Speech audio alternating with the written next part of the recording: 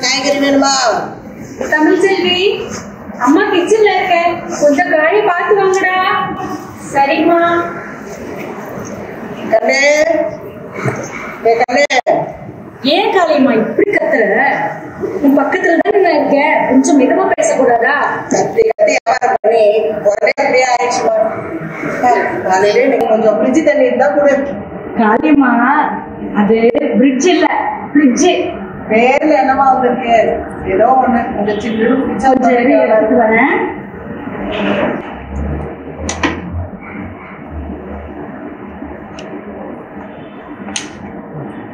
சொல்லு காளியம்மா இவ்வளோ நேரம் ஆச்சு அரை மணி நேரம் ஆச்சு உன் குரல் கேட்டு. இவ்வளோ நேரம் என்ன பண்ணிட்டு இருந்த?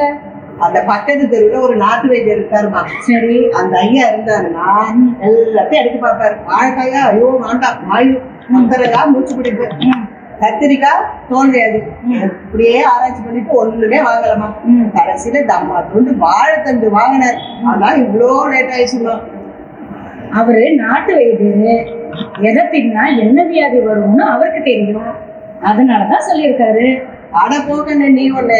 நான் சின்ன பிள்ளையா இருக்கிறப்ப காபி டீ குடிச்சா உடம்புக்கு கெடுதின்னு வாதியார் சொன்னார் ம். ஆனா இப்ப பாரு அமெரிக்காக்காரன் சொன்னானா டீ குடிச்சா ஹார்ட் அட்டாக் வராது. நான் அந்த தாசில்தார் அம்மா வீட்டுக்கு போனேன்னா அந்த அம்மா எனக்கு தினைக்கும் டீ கொடுக்கும். கடவுள் படைச்சதே மனுஷன் துன்றதுக்கு தானே. அதுல ஒரு தப்பும் வராது தாயி. நீ வேணா பாரு இந்த குப்பைக்கீரை யாராவது வெளிநாட்டுக்கார ஆராய்ச்சி பண்ணிட்டு குப்பைக்கீரை சாப்பிட்டா சக்கரை வியாதியா போயிடும் சொல்ல போறான் ம். அப்புறம் இந்த குப்பைக்கீரை வேலை கோபுரத்துல ஏறி உட்காந்துக்க போகுது. காளியம்மா நீ மட்டும் படிச்சிருந்த இந்த உலகத்தையே விலை பேசிடுவ. என்ன தாய் பண்றது? அந்த குடுப்பனை தான் எனக்கு இல்லையே. ஆசையா பள்ளிக்கூடம் போயிட்டு இருந்தேன் என்ன? நான் பெரிய மனுஷி ஆயிட்டேன்னு என் ஆத்தா கறி பாதியே படிப்பை நிறுத்தி எனக்கு ஒரு சீலையை சுத்தி விட்டு ஒரு எடுபட்ட பையனுக்கு கட்டி வச்சுட்டா. அவளை நம்பி பெத்த ரெண்டு பிள்ளைக்காக இன்னைக்கு தெரு தெருவா காய்கறி வியாபாரம் பண்ணிட்டு இருக்கேன். கஷ்டப்பட்டு சம்பாதிச்சு எடுத்து போற பத்து இருபதையும் முடுங்கி குடிச்சிட்டு எங்கேயாவது விழுந்து கிடக்கும். என் கதை பெரிய சோக கதை. அதை விடு. உனக்கு என்ன காய் தய் வேணும்? களியம்மா வருத்தப்படாத. உன் பிள்ளைங்களையாவது நல்லா படிக்க வை. என் கஷ்டமெல்லாம் தீந்துரும் சரி சரி. முட்டைக்கோஸ் இருக்கா? ஒரு கால் கிலோ கொடு. அதான் எங்க அம்மாவுக்கு ரொம்ப பிடிக்கும். எப்பவும் அம்மாவுக்கு பிடிச்சதுதான் வாங்குவியா தாயி. உனக்கு என்னதான் பிடிக்கும்? எனக்கு எங்க அம்மாவை தான் பிடிக்கும். காளியம்மா நீ உருளைக்கிழமும் அது கிலோ கொடு. அதுதான் இவளுக்கு ரொம்ப பிடிக்கும். எப்ப பாரு அம்மா புராணம். பிடிச்சதை வாங்கி சாப்பிட்டாதானே உடம்பு நல்லா இருக்கும். பெரிய கம்பெனில ஆடிட்டர் வேலை. ஆனா டெய்லியும் ஆபீஸுக்கு டைட் சாதம் எடுத்துட்டு போனா வேலை எப்படி ஓடும்? கம்பெனில பெரிய ஆடுற வேலையா தாயி உனக்கு அம்மா சொல்ற மாதிரி டெம்பா சாப்பிட்டாதானே கம்பெனில நல்லா ஆட முடியும். காளியம்மா காளியம்மா. ஆடிட்டர்னா ஆடுற வேலை இல்ல. கணக்கு வழக்கெல்லாம் செக் பண்ணி மத்தவங்கள ஆட்டி வைக்கிற வேலை. சரி சரி. காயை கொடுத்துட்டு இடத்த காலி பண்ணு. எனக்கு ஆபீஸ்க்கு நேரமாச்சு. சரிம்மா. இந்த கேட்ட முட்டை கோசு உருளைக்கிழங்கு. சரி நான் வரேம்மா. சரி காளியம்மா காளியம்மா காசு வாங்கணும் போற? அம்மா நோட்ல கணக்கு எழுதி வச்சுப்பாங்க தாயி. நான் ஒன்னாம் தேதி வந்து வாங்கிப்பேன். வருதா? சரி சரி. அம்மா என்னம்மா இது? காய்கறி விற்கிறவங்களுக்கு எல்லாமோ கடன் விற்கிறீங்க நான் அப்படி பண்ண வேணாமா காளி அம்மா தான் கொடுத்தா கூட வாங்க மாட்டேங்கிறா. ஏன்னா ம் அவ காசை வாங்கிட்டு வீட்டுக்கு போனா அவ குடிகார புருஷன் குடிச்சே காலி பண்ணிடுறானா. அதனால மாசம் ஒன்னாம் தேதி ஆனா காசை வாங்கிட்டு போய் நேரா ஸ்கூல் ஃபீஸை கட்டிடுவாளாம். ஃபீஸ் எவ்வளவா? ஃபீஸ் நாலாயிரம் ரூபான்னு சொன்னான்னு நினைக்கிறேன். அம்மா காளியம்மா பசங்களுக்கு நாமளே ஃபீஸ் கட்டிடலாமா? காய் காசை அவங்ககிட்ட தனியா கொடுத்துரு. சரியா? சரிம்மா. நீ சொல்லி நான் என்னைக்காவது வேண்டாம்னு சொல்லியிருக்கேனா? ஆனா நான் சொல்ற அந்த ஒரு விஷயத்த நீ உன் காதுலயே வாங்க மாட்டேங்கிற. ஆரம்பிச்சிட்டியா? இதை பொடி. காலங்காத்தால ஆரம்பிச்சிட்டியா? ஏம்மா? ஏன் கடைக்கு போனா கோயிலுக்கு போனா என் பொண்ணு கல்யாணம் பண்ணிக்க மாட்டேங்கிறா என் பொண்ணு கல்யாணம் பண்ணிக்க மாட்டேங்கிறா. சொல்லி சொல்லி. ஏம்மா? எல்லாரும் என்ன ஒரு மாதிரியே பாக்குறாங்கம்மா. தமிழ்ச்செல்வி அது என்னோட கடமைம்மா. இருக்குல்ல? கடமை இருக்குல்ல? அதே மாதிரிதான் ஒரு மகளுக்கும் தாய்க்கு செய்ய வேண்டிய கடமை இருக்கு. நீ சித்தாலா வேலை பார்த்து ஒரு சொந்த வீடு வாங்கி வச்சிருக்கியா? இல்ல. உனக்கு ஒரு சொந்த வீடு வாங்கி கொடுக்கறது தான் என்னோட கனவு கடமை எல்லாமே. அம்மா உன் வயிற்றுல நான் நாலு மாச குழந்தையா இருக்கும்போதே அப்பா இறந்துட்டாருன்னு சொல்லியிருக்கேன். பிறந்த உடனே பொம்பளை குழந்தை தானேன்னு கள்ளிப்பால் கொடுத்து கொல்லாம எந்த குப்பை தொட்டிலையும் தூக்கி வீசாம என்னை எவ்வளோ கஷ்டப்பட்டு வளர்த்திருப்பம்மா நீ. ம். இதை நீ ஒரு நாளைக்கு ஒரு தடவையாவது சொல்லாட்டி உனக்கு தூக்கமே வராது. பத்து வாட்டி சொல்லுவேன் பொம்பளை குழந்தை தானேன்னு உன்னைய மாதிரியே கல் மண்ணு சுமக்க வைக்காம பெரிய ஸ்கூல்ல சேர்த்து என்னை படிக்க வச்சியே அதுக்காக நூறு தடவை சொல்லுவேன் சரி நீ இப்ப எப்பதான் வீடு வாங்க போற? அம்மா கம்பெனியில லோன் கேட்டீங்க கையிலயும் கொஞ்சம் காசு வேண்டாமா? போட்டு நல்ல வீடா வாங்கணும்ல. அதுக்கு இன்னும் ஒரு வருஷம் ஆகும். அது வரைக்கும் என்னுடைய செல்ல அம்மாவுக்கும் எனக்கும் இந்த வாடகை வீடே சொர்க்கம். என் அம்மாவே தெய்வம். சரியா? உன்னை நினைச்சா எனக்கு பெருமையா தான் இருக்கு. ஆனா அடுத்த மாசம் வந்தா முப்பத்தஞ்சு வயசு முடிய போகுது. இன்னும் கல்யாணம் ஆகலைன்னா? ஆகலைன்னா? ஒன்றும் ஆகாது. இப்போ காலம் மாறி போச்சு இன்னைக்கு பேப்பர் பாத்தியா? ஐம்பத்தஞ்சு வயசுக்காரரு. ஐம்பது வயசுல பொண்ணு வேணும்னு விளம்பரம் கொடுத்துருக்காரு. அடிக்குறிப்புல என்ன எழுதிருக்காரு தெரியுமா? அறுபது வயசா இருந்தாலும் பரவாயில்லையா?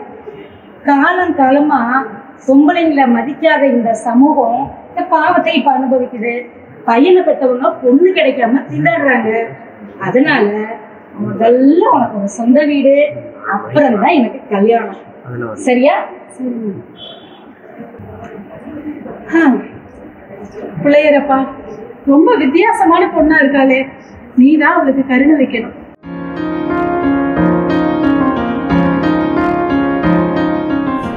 సార్ யார் సార్ யார் నమస్కారం நமஸ்காரம் ఇటే సార్ కుమారస్వామి సౌఖ్యమర్కేడా ரிட்டையர்ட் தாசில்தார்ங்கிறது ரிட்டையர்ங்கிறது டிப்ளமாவா ஏ, வெறும் தாசில்தார்னு சொன்னேன் அதுக்கு எதுக்கு சுவாமி ரிட்டையர்ட் தாசில்தார் சொல்றீங்க?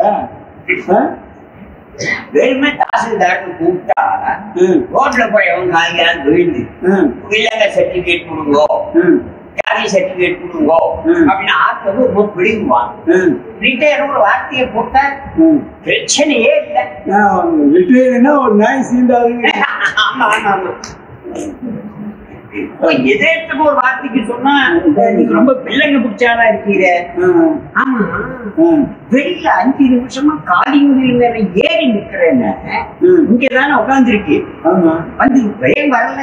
காலிங்கள் ரிப்பேரோ? காலிங் பில்லாம் ரிப்பேர் இல்லையே. அப்போ காது ரிப்பேரோ? போன வாரம் தானே காது சர்வீஸ் கொடுத்தேன். காதை சர்வீஸ்க்கு விட்டீரா? ஆமா இஎன்டி டாக்டர்கிட்ட போனேன். வாட்டர் வாஷ் பண்ணாரு. இந்த பக்கம் தண்ணி அடிச்சு இந்த பக்கம் வந்தது. கால இங்க பார்த்தா அந்த பக்கம் வரைக்கும் நல்லா தெரியுதுன்னு சொன்னாரு? நீங்க பேப்பர் பார்க்கற வழக்கம் தான். மாணிக்க குருக்கள் காலம்புறம் பேப்பர் பார்க்காம இருக்க முடியுமோ? அப்போ பராமரிப்பு பணியின் காரணமாக இன்று காலை ஒன்பது மணி முதல் ஐந்து மணி வரை கரண்ட் கட்டுன்னு போட்டுருந்தான். கொடுக்கலையா. கண்ணை டெஸ்ட் பண்ணி ஆ, சரி சரி நமஸ்காரம் ஆ, நமஸ்காரம் இங்கே சொல்லு ஆ, அப்புறம் என்ன?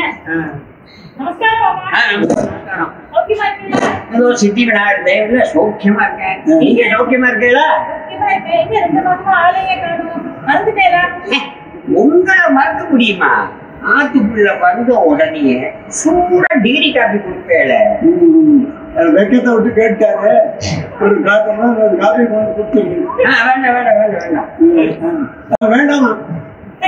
உள்ள மாட்டாத டிகாஷன் பாலெல்லாம் மிச்சம். போகும்போது. கேட்டு வாங்கி சாப்பிட்டு போறேன். நீங்க வந்த விஷயத்த சொல்லுங்க. பையனுக்கு ஏதாவது பொண்ணு கிடைச்சதா? பொண்ணுங்க கிடைக்கிறது ரொம்ப கஷ்டமா இருக்கு. பொண்ணுங்க டிமாண்ட் வேற ரொம்ப அதிகமா இருக்கு. முந்தையெல்லாம் இருபத்தஞ்சு வயசுக்கு அப்புறம் வேலைக்கு போனப்புறம் தான் லவ் பண்ற மாதிரி சினிமா தான் காமிப்பான். இப்போ யூனிஃபார்ம் போட்டுன்னு படிக்கும் போதே லவ் பண்ற மாதிரி காமிக்கிறான். அதோட பாருங்க யாராத்தான் போனோம்னு வச்சுக்கோ. டே குழந்தை அங்கிள் வந்திருக்க எந்த கிளாஸ் படிக்கிற சொல்லு அப்படின்பா. இப்ப என்னடான்னா ஏ குழந்தை உன் கேர்ள் ஃப்ரெண்ட் யாரு? சொல்லு. அப்படிங்கிற இந்த பாருங்க லவ் பண்ணி பொண்ணுங்களை கரெக்ட் பண்ணாம போனா கல்யாணத்துக்கு பொண்ணுங்க கிடைக்கிறது குதிரக்கொம்பா ஆயிடும். இதுக்கு மேல. பொண்ணுங்க உற்பத்தி கம்மி டிமாண்ட் அதிகம். என்ன ஃபேக்டரி மாதிரி இன்புட் அவுட்புட் எல்லாம் சொல்ற? பொண்ணுங்க உற்பத்தி கிளம்பினா நாங்க என்ன பண்ண முடியும்? அதுக்காக பசங்களை பிஇ படிக்க வைக்கலாம் இல்ல மெடிக்கல் படிக்க வைக்கலாம் காலேஜ் லவ்வுக்கு அனுப்ப முடியும்.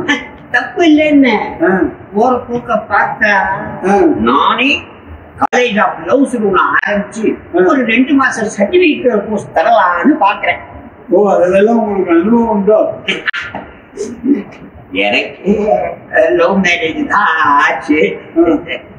அப்படியா? ஆமா? எனக்கு. ஒரு இருபது வயசு இருக்கும் போது இல்ல நான் எந்திரிக்கவே இல்லையே. சரி. நான் கிண்டல் இன்னைக்கு பாருங்க. அவரோட சாரி கட்டிட்டு கூட உங்களுக்கு பொறுமை இதுல இருந்து தெரிஞ்சுக்கோங்க பத்து சீரியல் பார்க்குற சுமராட்டிகள்லாம் இந்த பூமாதேவியை விட பொறுமைசாலிகள். ஆமா. நீங்க வந்த விஷயத்த சொல்லுங்க மாமா. அஹ், ஆமா. எதுல தொடரும்னு போட்டேன்? ஒரு நிமிஷம். இந்த மாதிரி எடுக்கல இவங்க ஃபீட்பேக்கே வரல. பாருங்க பிரச்சனை வருதா? வரல. வருதா? வரல பாருங்க.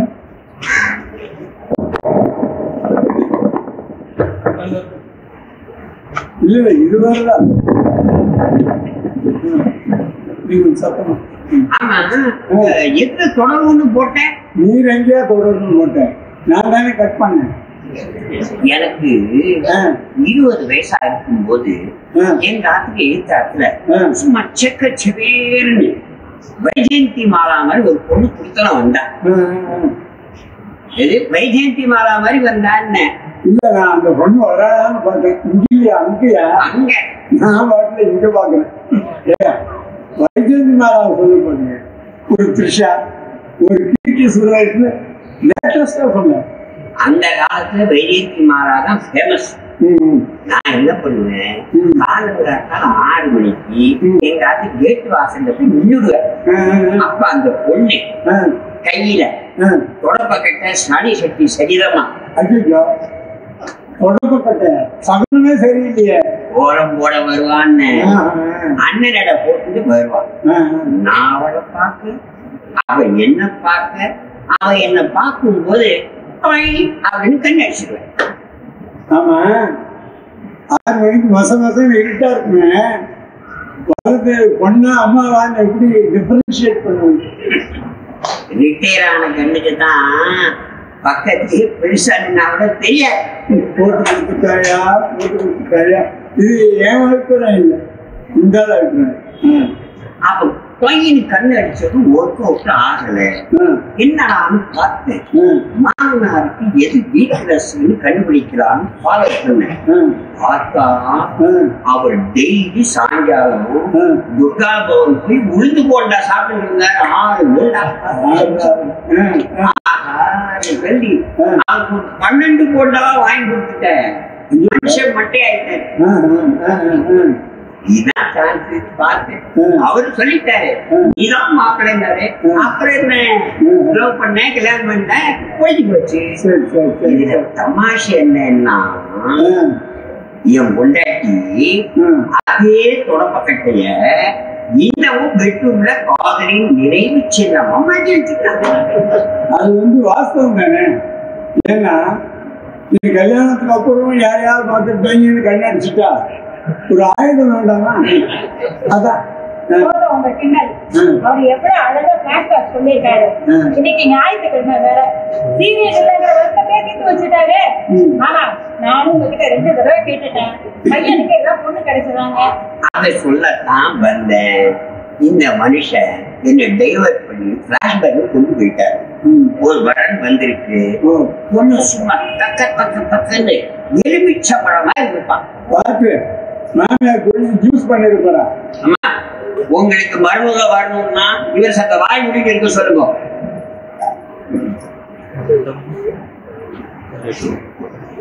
பொண்ணுக்கு தலை நிறைய முடி.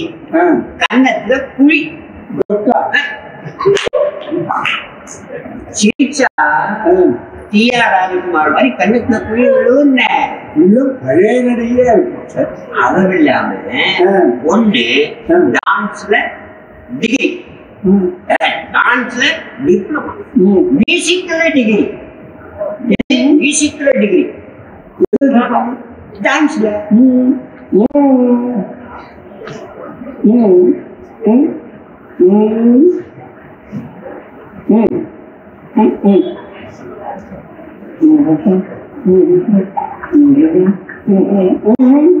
என்ன? எதுவும் கையை காலாட்டு எனக்கு ஒண்ணும் புரியல. உங்களுக்கு புரியுதா? நம்ம பேச வேணும்னு சொல்லிட்டு ஒண்ணும் இதுல வேற நீங்க பொண்ணு டான்ஸ்ல டிப்ளமான்னு சொல்லிட்டு அவரோட சைகையை பார்த்து என்ன கேக்குறாரு? பொண்ணு நாளைக்கு அடுப்புல பாட வச்சுட்டு ஆடிட்டு பாடிட்டு இருக்க போறாங்கன்னு கேக்குறாரு. அப்படியா?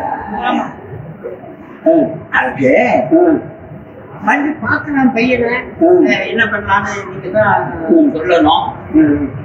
அது நீங்க சொல்லணும் சொல்லுங்க. எனக்கு இந்த மாதிரி சேஷ்டி எல்லாம் வரும். அதனால நான் பேசிட்டு இருந்தேன். கண்டவே இல்லை உங்களுக்கு அதான் கரெக்ட் அதான் சொல்றேன். நான் நினைச்சேன் நீங்க ஆ, முடியாது. அங்கதான் ப்ராப்ளம் என்ன? உங்க பையன் ஒரு கண்டிஷன் போட்டிருக்கான். சரி. அதாவது அவனை மாதிரியே பியூ கம்ப்யூட்டர் சயின்ஸ் படிச்சிருக்கணும். நல்லது தானே பெண்கள்லாம் படிக்கிறது நல்லது தானே படிச்சுட்டு போட்டுமே. அப்பவும் ஐயன் ஒரு கண்டிஷன் இருக்கு என்ன கண்டிஷன் கண்டிஷனா சிக்கலா? சிக்கல். சிக்கல்லாம் மலச்சிக்கல் இல்லையே. அதுக்கு அப்புறம் என்ன. என்ன சிக்கல்னா கல்யாணம் ஆன உடனே. அவன் பொண்ணாட்டியும் கூடவே இருந்து பாருங்க வேலை பார்க்கணும்னு சொல்றான். இத பார்க்கும்போது ம், சில பொண்ணுங்கள்லாம் அம்மா அப்பா விட்டு வரதுக்கு மனசு இல்லை. அவங்க சில குடும்பத்துல சந்தர்ப்ப சூழ்நிலையும் சரியில்லை. அதனால உங்க பையனை. கொஞ்சம் மாத்தி யோசிக்க சொல்லுங்க.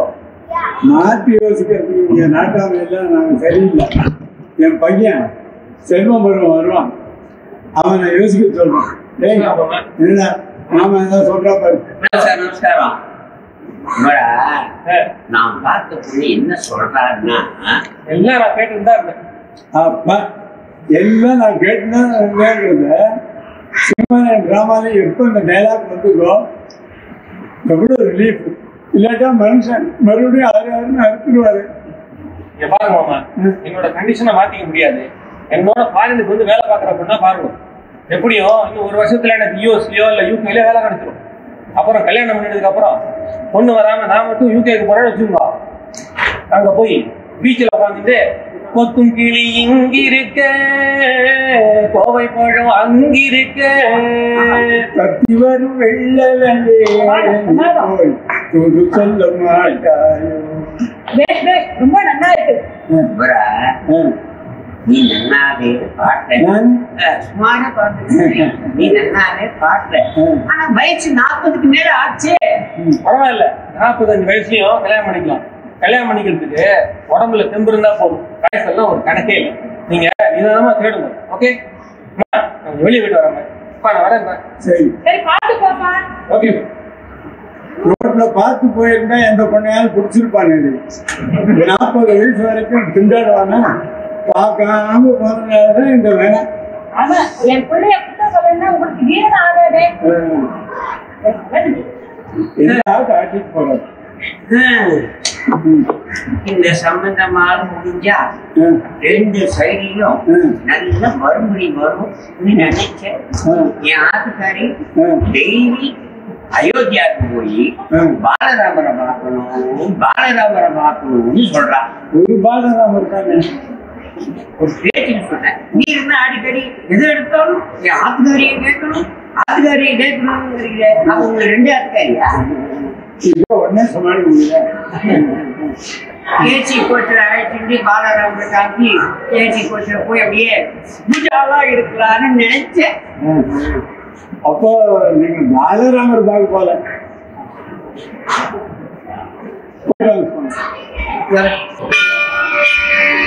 அதிராஜாய கிருஷ்ண சாகிதே நமோ அயம் வைஷ்ணவனாய கும்பகே தமே காமா காம காமாய வைஷ்ணவம்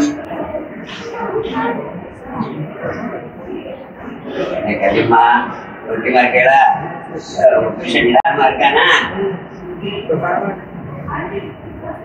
என்னம்மா ரொம்ப நாள் ஒண்ணு கோயில் பக்கமே காணும் வீடு மாறி போயிட்டியா? ஆமா சுவாமி நல்லூர் ஆஞ்சநேயர் கோவில் பக்கத்துல போயிட்டேன். ஆ உயர்ந்த இடத்துல தான் இருக்கேன் என்ன தர்மத்தா சுவாமி? ஓகேமா இருக்கீங்களா விளையாண்டாம் பையன் பொண்ணா பண்ணிட்டு இருக்கணும் இல்லையோ? ம். இன்னைக்கு சகட சதுர்த்தி. பிரசாதம் நிறைய பண்ணி வச்சிருக்கேன்.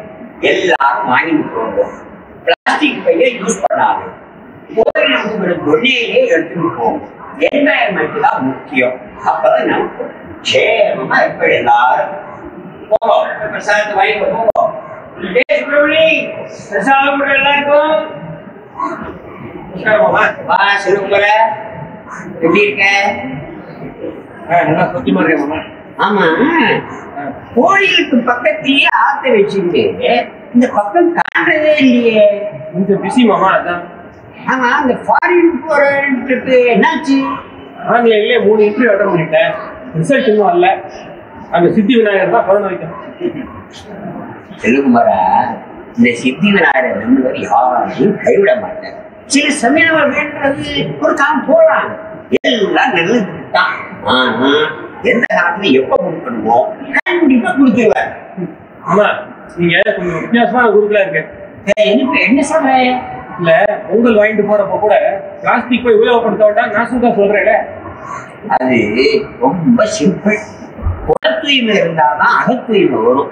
அக தூய்மை வந்துட்டு தன்னாலேயே தெய்வ பக்தியோ பிரத்தியாருக்கு உபகாரம் என்ற எண்ணமும் வரும். தட்டுல காணிக்க போடு காணிக்க போடுன்னு திரும்ப திரும்ப ஒரே வார்த்தையை சொல்ற சில அர்ச்சகர்கள் மத்தியில. நீங்க ரொம்ப வித்தியாசமானவர் மாமா. நீயும் வித்தியாசமா இருக்கணும் தான் இந்த சித்தி விநாயகரை நான் வேண்டிட்டு இருக்கேன். என்ன சொல்றேன் நீ ஃபாரின் போல ரொம்ப பிடிவாதமா இருக்கியாம் உங்க அம்மா தினம் கோயில வந்து என்கிட்ட வருத்தப்பட்டு போறா. இந்தியால எவ்வளவோ வேலை இருக்கு. பெரியவா சொல்படி நம்ம கேட்டு நடந்தா நமக்கு ஒரு குறையும் வராது. ஆமா ஐம்பது வருஷத்துக்கு முன்னாடி சொந்த ஊரை விட்டே வேற எங்கேயும் வேலைக்கு போக மாட்டாங்க. ஆனா இப்போ கம்யூனிகேஷன் ரொம்ப இம்ப்ரூவ் ஆயிடுச்சு. ஒரு என்ட்ரை தட்டினா போதும். யூஎஸ்ல இருக்கிற பையன் கூட பேசலாம் அவன் குழந்தைகளை பார்க்கலாம். பெரியவா பெரியவான்னு சொல்றேன் அதே பெரியவங்க தானே திரைக்கடை ரோடியும் திரவியும் தேடுன்னு சொல்லியிருக்காங்க. நான் வரேன் மாமா. புத்திசாலி பிள்ளைன்னா என்ன கொஞ்சம் பிடிவாதம் ஜாஸ்தி வா டைமா எப்படி இருக்க சொல்லுமா சாமி. என்ன பூஜையெல்லாம் முடிஞ்சு பொங்கல் பிரசாதம் கொடுத்த நேரத்துக்கு வந்திருக்கேன் முடியல சாமி. ஒண்ணு இல்லையா ஏ சுப்பிரமணி ரெண்டு கிலோ பொங்கல் பிரசாதம் பண்ணியிருந்தேன் எல்லாத்தையும் பார்த்துட்டு ஆத்துக்கு அனுப்பிச்சுட்டியா? அது இல்ல சாமி. புறப்படுற சமயத்துல என் பொண்ணு கூட ஒரு சின்ன ஆர்குமெண்ட் அதனால கொஞ்சம் லேட் ஆயிடுச்சு. நீங்க சித்தாரா இருந்து கண்ணு மண்ணு சுமந்து இந்த வீடு கட்டுற காலத்துல எனக்கு தெரியும். அப்ப உங்களுக்கு கையெழுத்தே போட தெரியாது. இப்ப எல்லாமா ஆர்குமெண்ட் லெட்டர் இங்கிலீஷ்ல. எல்லாம் என் பொண்ணு சொல்லி கொடுத்ததுதான் சாமி. பொண்ணை நீங்க படிக்க வச்சு பொண்ணு உங்களை படிக்க வச்சுட்டா. செல்வி சாடி ஓஹோன்னு வரா பாருங்க எல்லாம் உங்க ஆசீர்வாதம். ஆனா அவளோட பிடிவாதம் எனக்கு கொஞ்சம் கூட பிடிக்கல சாமி. பாருங்க அந்த காலத்துல பொம்மநாட்டிகள்னா ஆசைகளை மனசுல போட்டு அடக்கி வச்சுருந்தா இப்போ தைரியமா வெளியே சொல்றா. அது நமக்கு பிடிவாதமா தெரியுது அது சரி. அதுக்காக எனக்கு ஒரு சொந்த வீடு வாங்கி தரணுன்றதுக்காக அவளோட கல்யாணத்தவே தள்ளி போடுறதா சொல்லுங்க. இப்போ அவளுக்கு முப்பத்தஞ்சு வயசு முடிய போகுது. இன்னும் கல்யாணம் பண்ணிக்காம நான் வீட்லயே வச்சிருந்தேன்னா அவளோட சம்பள பணத்துக்கு தானேன்னு சொல்லி அக்கம் பக்கத்துல இருக்க சொந்தக்காரங்க எல்லாம் என்ன தப்பா பேச மாட்டாங்களா சாமி? நீங்க எதுக்கும் கவலைப்படாது. தமிழ்ச்செடி புத்திசாலி பொண்ணு. எல்லாம் அவளுக்கு தெரியும். இல்ல தமிழ் செல்விக்கு கொஞ்சம் சீக்கிரமா கல்யாணம் நடக்க ஏதாவது பரிகாரம் வந்து சொன்னீங்கன்னா செஞ்சிடலான்னு பாக்குறேன். இந்த விநாயகர் கோயிலுக்கு தினம் வந்து பிரார்த்தனை பண்ணிக்கிறேன். இதை விட பெரிய பரிகாரம் வருமா என்ன? உங்களுக்கு தெரிஞ்சுங்கோ தலையெழுத்த எந்த பரிகாரத்தாலையும் மாற்ற முடியாது. தெரிஞ்சதோ அதனால யாருக்கு எந்த சமயத்துல எந்த ஊக்கத்துல கயிற்றுல தாலி ஏறணும்னு ஏற்கனவே அவன் முடிவு பண்ணியிருப்பான். அவன் லோகத்துக்கே பெரிய நாட்டாம அவன் தீர்ப்பை மாற்றி எழுத மாட்டான் அப்பீலுக்கும் போக விட மாட்டான். அது இல்ல சாமி. உங்களை வச்சு ஒரு ஐயாயிரமோ பத்தாயிரத்துக்கோ ஒரு பரிகாரத்தை பண்ணிடலான்னு பார்த்தேன். நீங்க என்னடான்னா பரிகாரமே வேணான்றீங்க. நீங்க ஒரு வித்தியாசமான பொருட்களா இருக்கீங்க. நான் வரேன் சாமி. என்னது இது? காலங்காலத்துல வரவா போனவங்க வித்தியாசமா இருக்கு வித்தியாசமா இருக்காங்கிறாரு ஒரு கால் இது பரிகாரத்துக்காக ஒரு அஞ்சு பத்து சம்பாதிக்கிறதுக்கு மனுஷனா இருப்பான்னு நினைக்கிறாளோ? உங்களை நேர்மையா இருக்கணும் நீ சொல்றா போல இருக்கு. எல்லாம் இந்த விநாயகன் பார்த்துப்போம் விநாயகா. என்னது தட்டு காசு ஒண்ணுமே இல்ல நான் குணியப்பட்ட ஒரு ரூபா தான் இருக்கு அதுல ஆத்துக்காரி சொல்லி அனுப்பிச்சா இன்னைக்கு சங்கடகர சதுர்த்தி நிறைய வறுபடி வரும். அதை எடுத்துட்டு ரெண்டு பாக்கெட் தயிர் பாக்கெட் வாங்கிட்டு வாங்க இங்க போதைக்கே வர்த்ததில்ல இன்னைக்கு ஆத்துல ஆத்துக்காரி கையால அஷ்டோத்தம் ஏன் இப்ப எங்க புடிச்சு இழுத்துட்டு வர? ஏய் மணி ஒன்றரை ஆக போகுதுப்பா. இன்னும் சாப்பிட வர மாட்டேங்கிற. வா சாப்பிடலாம். ஒரு டூ மினிட்ஸ் ஆகும். டேலி முடிச்சுட்டு வந்துடுறேன் டேலி எல்லாம் அப்புறம் தான். முதல்ல சாப்பாடு. வா. அண்ணோ நான் எதுவும் லஞ்ச் கொண்டு வரல. கேன்டீன்ல தான் ஆர்டர் பண்ணுவேன் வாங்கிக்கோங்க வேண்டாம் வேண்டாம். உனக்கும் சேர்த்து தான் லஞ்ச் எடுத்துட்டு வந்திருக்கேன். ஓ அப்படியா? ஸ்கூல் கொடு. நேத்தியே சொல்லல சாம்பார் சாதம்னு. ஆமா. அந்த சாம்பார் சாதம் தான் சூப்பரா இருக்கு ஸ்மெல்லு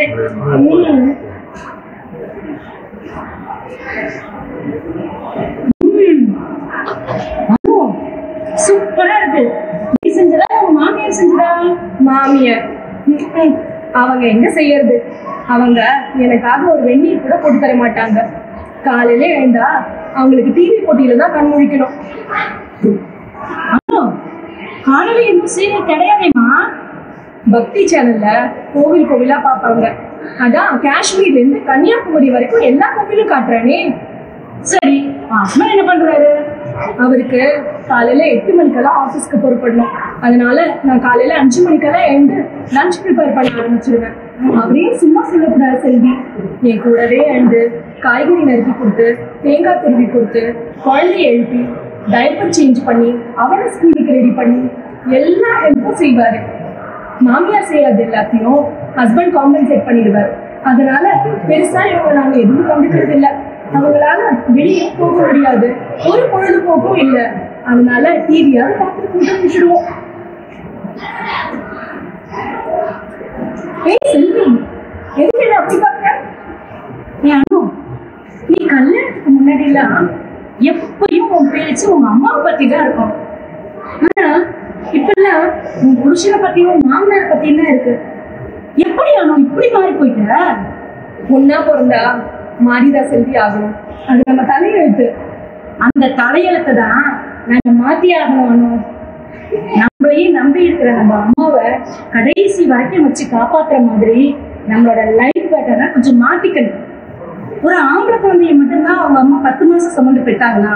ஒரு பொம்பளை குழந்தைய பெக்கலையா அது என்ன ஆம்பளைக்கு ஒரு நியாயம் பொம்பளைக்கு ஒரு நியாயம்? உன் கோவத்துல ஒரு நியாயம் இருக்கு செல்வி. ஆனா அதெல்லாம் இந்த சமுதாயம் ஏத்துக்கிறதுக்கு இன்னும் ரொம்ப நாள் ஆகும். காலம் மாறணும். காலம் மாறியாச்சாலும் இப்போ எங்க அம்மாவை எடுத்துக்க கஷ்டப்பட்டு கூலி வேலை செஞ்சு என்னை படிக்க வச்சு முன்னுக்கு கொண்டு வந்திருக்காங்க. என்னுடைய சேமிப்பெல்லாம் போட்டு நான் கல்யாணம் பண்ணிட்டு போயிட்டேன்னா கடைசி காலத்துல அவங்கள யார் பார்த்துக்குவாங்க? சரி முதியோர் இல்லத்துல விடலாம் விடணும்னாலும் அதுக்கு பைசா வேணுமே. எந்த புருஷனும் மாமியாரும் தான் மனசு மருமக சம்பாத்தியத்துல இருந்து தான் அம்மாவுக்கு கொடுக்கறத முழு மனசோட ஏத்துக்கிறதே கிடையாது. தெரியுமா? எப்படியோ செல்வி ஒன்னா படிச்சோம். ஒரே ஆபீஸ்ல வேலைக்கு ஜாயின் பண்ணோம். ஆனா ஆனா என்ன? நான் இன்னும் கல்யாணம் பண்ணிக்கல. அதானே உன் கவலை? கவலைப்படாத எனக்கு சில கடமைகள் இருக்கு. எங்க அம்மாவுக்கு செய்ய வேண்டிய கடமைகளை முடிச்சிட்டு என் மனசை புரிஞ்சுக்கிறவரா பார்த்து நிச்சயமா கல்யாணம் பண்ணிக்குவேன். நீ எனக்காக ஃபீல் பண்றதை விட்டுட்டு அந்த சூப்பர் சாம்பார் சாதத்தை இன்னும் கொஞ்சம் போடு. போதும் போதும் சாப்பிடு. அனு உனக்கு வெஜிடபிள் ரைஸ் பிடிக்கும் இல்லையா? நாளைக்கு எங்க அம்மாவை செய்ய சொல்லி எடுத்துட்டு வர. சரியா? ஓகே ஓகே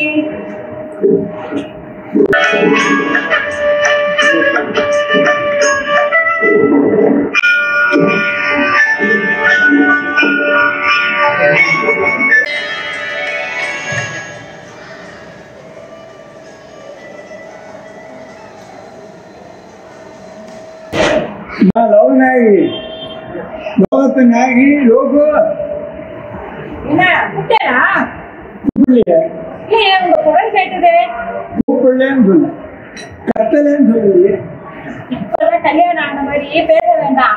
ரிட்டையர் ஆயாச்சு. என் தயவுல தான் இருந்தாகணும். எதுக்கிலே வந்தாங்க என் பையன் வேலைக்கு போகிற பொண்ணா பார்த்து கல்யாணம் பண்ணிக்க போகிறேன் டிவி யூடியூப்ல இந்த மாதிரியே இருப்பாள் அவள் கேட்டு கேட்டு நல்லா செஞ்சு போடுவா கணையா நான் சாப்பிட்டு போகிறேன் அது சரி. ஆ. இந்த நிலைமை தான் உங்க குழந்தை கெடுக்க போகுது? நம்ம பையன் வேலைக்கு போற பொண்ணா தேடுறான். ஆபீஸ்க்கு போற மருமக வந்தா என்ன பண்ணுவான். ஞாயிற்றுக்கிழமை ஒரு ஐம்பது சப்பாத்தி எடுத்து வச்சிடுவான் அது ஐஸ் பெட்டியில வச்ச டெட் பாடி மாதிரி விரைச்சிக்கிட்டு கிடக்கும். அதை எடுத்து நீங்க கடிச்சீங்கன்னா இருக்கிற பதினாலு பல்லு பொல பொல பொலன்னு கொட்டிடும். சரி நான் தூங்கும்போது வாழைப்பழம்க்கு தூங்குறது என்னவோ வாஸ்தவம் தான். அப்போ பல்லெல்லாம் முடிச்சிருக்கீங்களா எல்லாம் ஒரு அனுமானம் தான். இது பாரு. அது எப்படிம்மா? மருமக பேரை சொன்னாலே மாமியாருக்கு எல்லாம் பொட்டுக்கம் போடுறது பாவம். ஏதாவதாகி ஒன்ன உடனே அவருக்கு அஹ், மல்லிகைப்பூ மாதிரி இட்லி பண்ண முடியும். நீ வைக்கிற வத்த குழம்பு இந்த தெருவே விளக்குமே? நீ எத்தனை ஜென்மம் எடுத்தாலும் நீ தான் எனக்கு ஒய்ஃபாக வரணும்னு அந்த பகவான்ட்டு வேண்டிக்கிறேன். சர்வீஸ்ல இருந்தப்போ கிண்டல் பண்ண முடியல. இப்போ ரிட்டையர்ட் ஆகி வீட்டில் இருக்கேன். கிண்டல் பண்றேன். நீ கிண்டல் பண்ணிக்கோ. நான் ஒன்றும் சொல்ல மாட்டேன். கட்டின புருஷன்கிட்ட மல்லு கிடைக்கிற மாதிரி எங்க அம்மா என்ன வைக்கல. இந்த இத்தனை வருஷத்து தாம்பத்தியத்துல நமக்குள்ள எவ்வளவோ சச்சரவு எல்லாம் வந்திருக்கு ஆனா ஈகோ பார்க்காம நானும் விட்டு கொடுத்துருக்கேன் நீயும் விட்டு கொடுத்துருக்க அதனாலதான் குடும்பம் நல்லா ஓடிடுது இல்லைட்டா இத்தனை நேரம் நம்ம குடும்பம் குடும்ப நேரம் போறதுக்கு தான் போயிருக்கு சரி சரி நம்ம புராணத்தை பாடத்தை நிறுத்திட்டோம். நம்ம பையன் அவன் கூட பேசி அவன் வழிக்கு கொண்டு வரதுக்கு யோசிப்போம் நம்ம ஆமா. வழி கொண்டு வரதுக்கு அவன் என்ன எல்கேஜி பையனா? பிரிஸ்பிளானி கோல்டு மெடலிஸ்ட் இந்தியாவிலே மூணு லட்ச ரூபா சம்பாதிக்கிறான். தோளுக்கு மேல விளாந்த பையன். அவனை போய் நான் வந்து அடக்க முடியுமா தோழனா தான் பார்க்க முடியும் ரெண்டாவது அவன் இஷ்டப்படி விட்டாதான் நல்லா இருக்கும் நாளைக்கு ஏதாவது நம்ம சொல்ல போக அது ஏதாவது தப்பா இருக்குன்னா அது வந்து மனசு வேதப்படாம அது சரிங்க. நமக்கு இருக்கிறது ஒரே பையன். ம். அவனை விட்டுட்டு நம்மளால இருக்க முடியுமா? லோகநாயகி ஒரு விஷயம் நம்ம பையன் கூட நீ எத்தனை வருஷம் இருக்கணும்னு நினைக்கிற? என்ன ஒரு நூத்தி ஒரு வயசு வரைக்கும் இருக்கணும்னு ஆசை நூத்தி ஒண்ணா? ஏன் அப்படி கேக்குறேன் என்னடி சீர்முருக்கு மாதிரி சொல்ற? ஆ? சரி நூத்தி ஒரு வயசு இருக்க? நமக்கு இப்பவே வயசாயிடுச்சு. நான் வலது பக்கம் நடந்தா இடது பக்கம் ஓட முடியாது. உனக்கு உட்காண்டா எந்திரிக்க முடியல எந்திருந்தா உட்கார முடியல? அப்படி இருக்கும்போது நமக்கு நூறு வயசு இருந்து இன்னும் உடம்பெல்லாம் சின்ன திசையா போனா ஒரு பாத்ரூம் போறது கூட பையன் ஹெல்ப்பு பொண்ணு மாட்டு பொண்ணு ஹெல்ப்னு கேட்டா நல்லா இருக்கும்.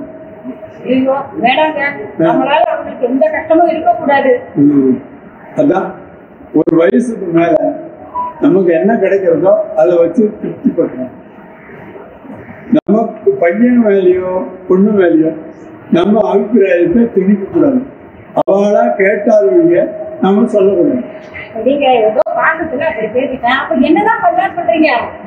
பேசாம இந்த வீட்டை விட்டுட்டு கிராமத்துக்கு போயிடலாம். கிராமத்துக்கு போய் அங்க போய் என்ன பண்றது? நான் எருமாடு மேய்க்கிறேன் நீ வேலை கட்டி வியாபாரம் இல்லைன்னா கிராமத்துல போய் சொந்த வீடு இருக்கு செட்டில் ஆயிடுவோம் அங்க நம்ம மனுஷா இருக்கா? நீ வரக்குள்ள ஓடு. நான் முடிஞ்ச வரைக்கும் துரத்து பிடிக்கிறேன். இல்லாட்டா ஒரு மரத்தடியில் உட்காந்துக்கிறேன் இதெல்லாம் உங்க வாய் பேச்சுக்கு கம்மி இல்ல. ம். செல்வகுமரா?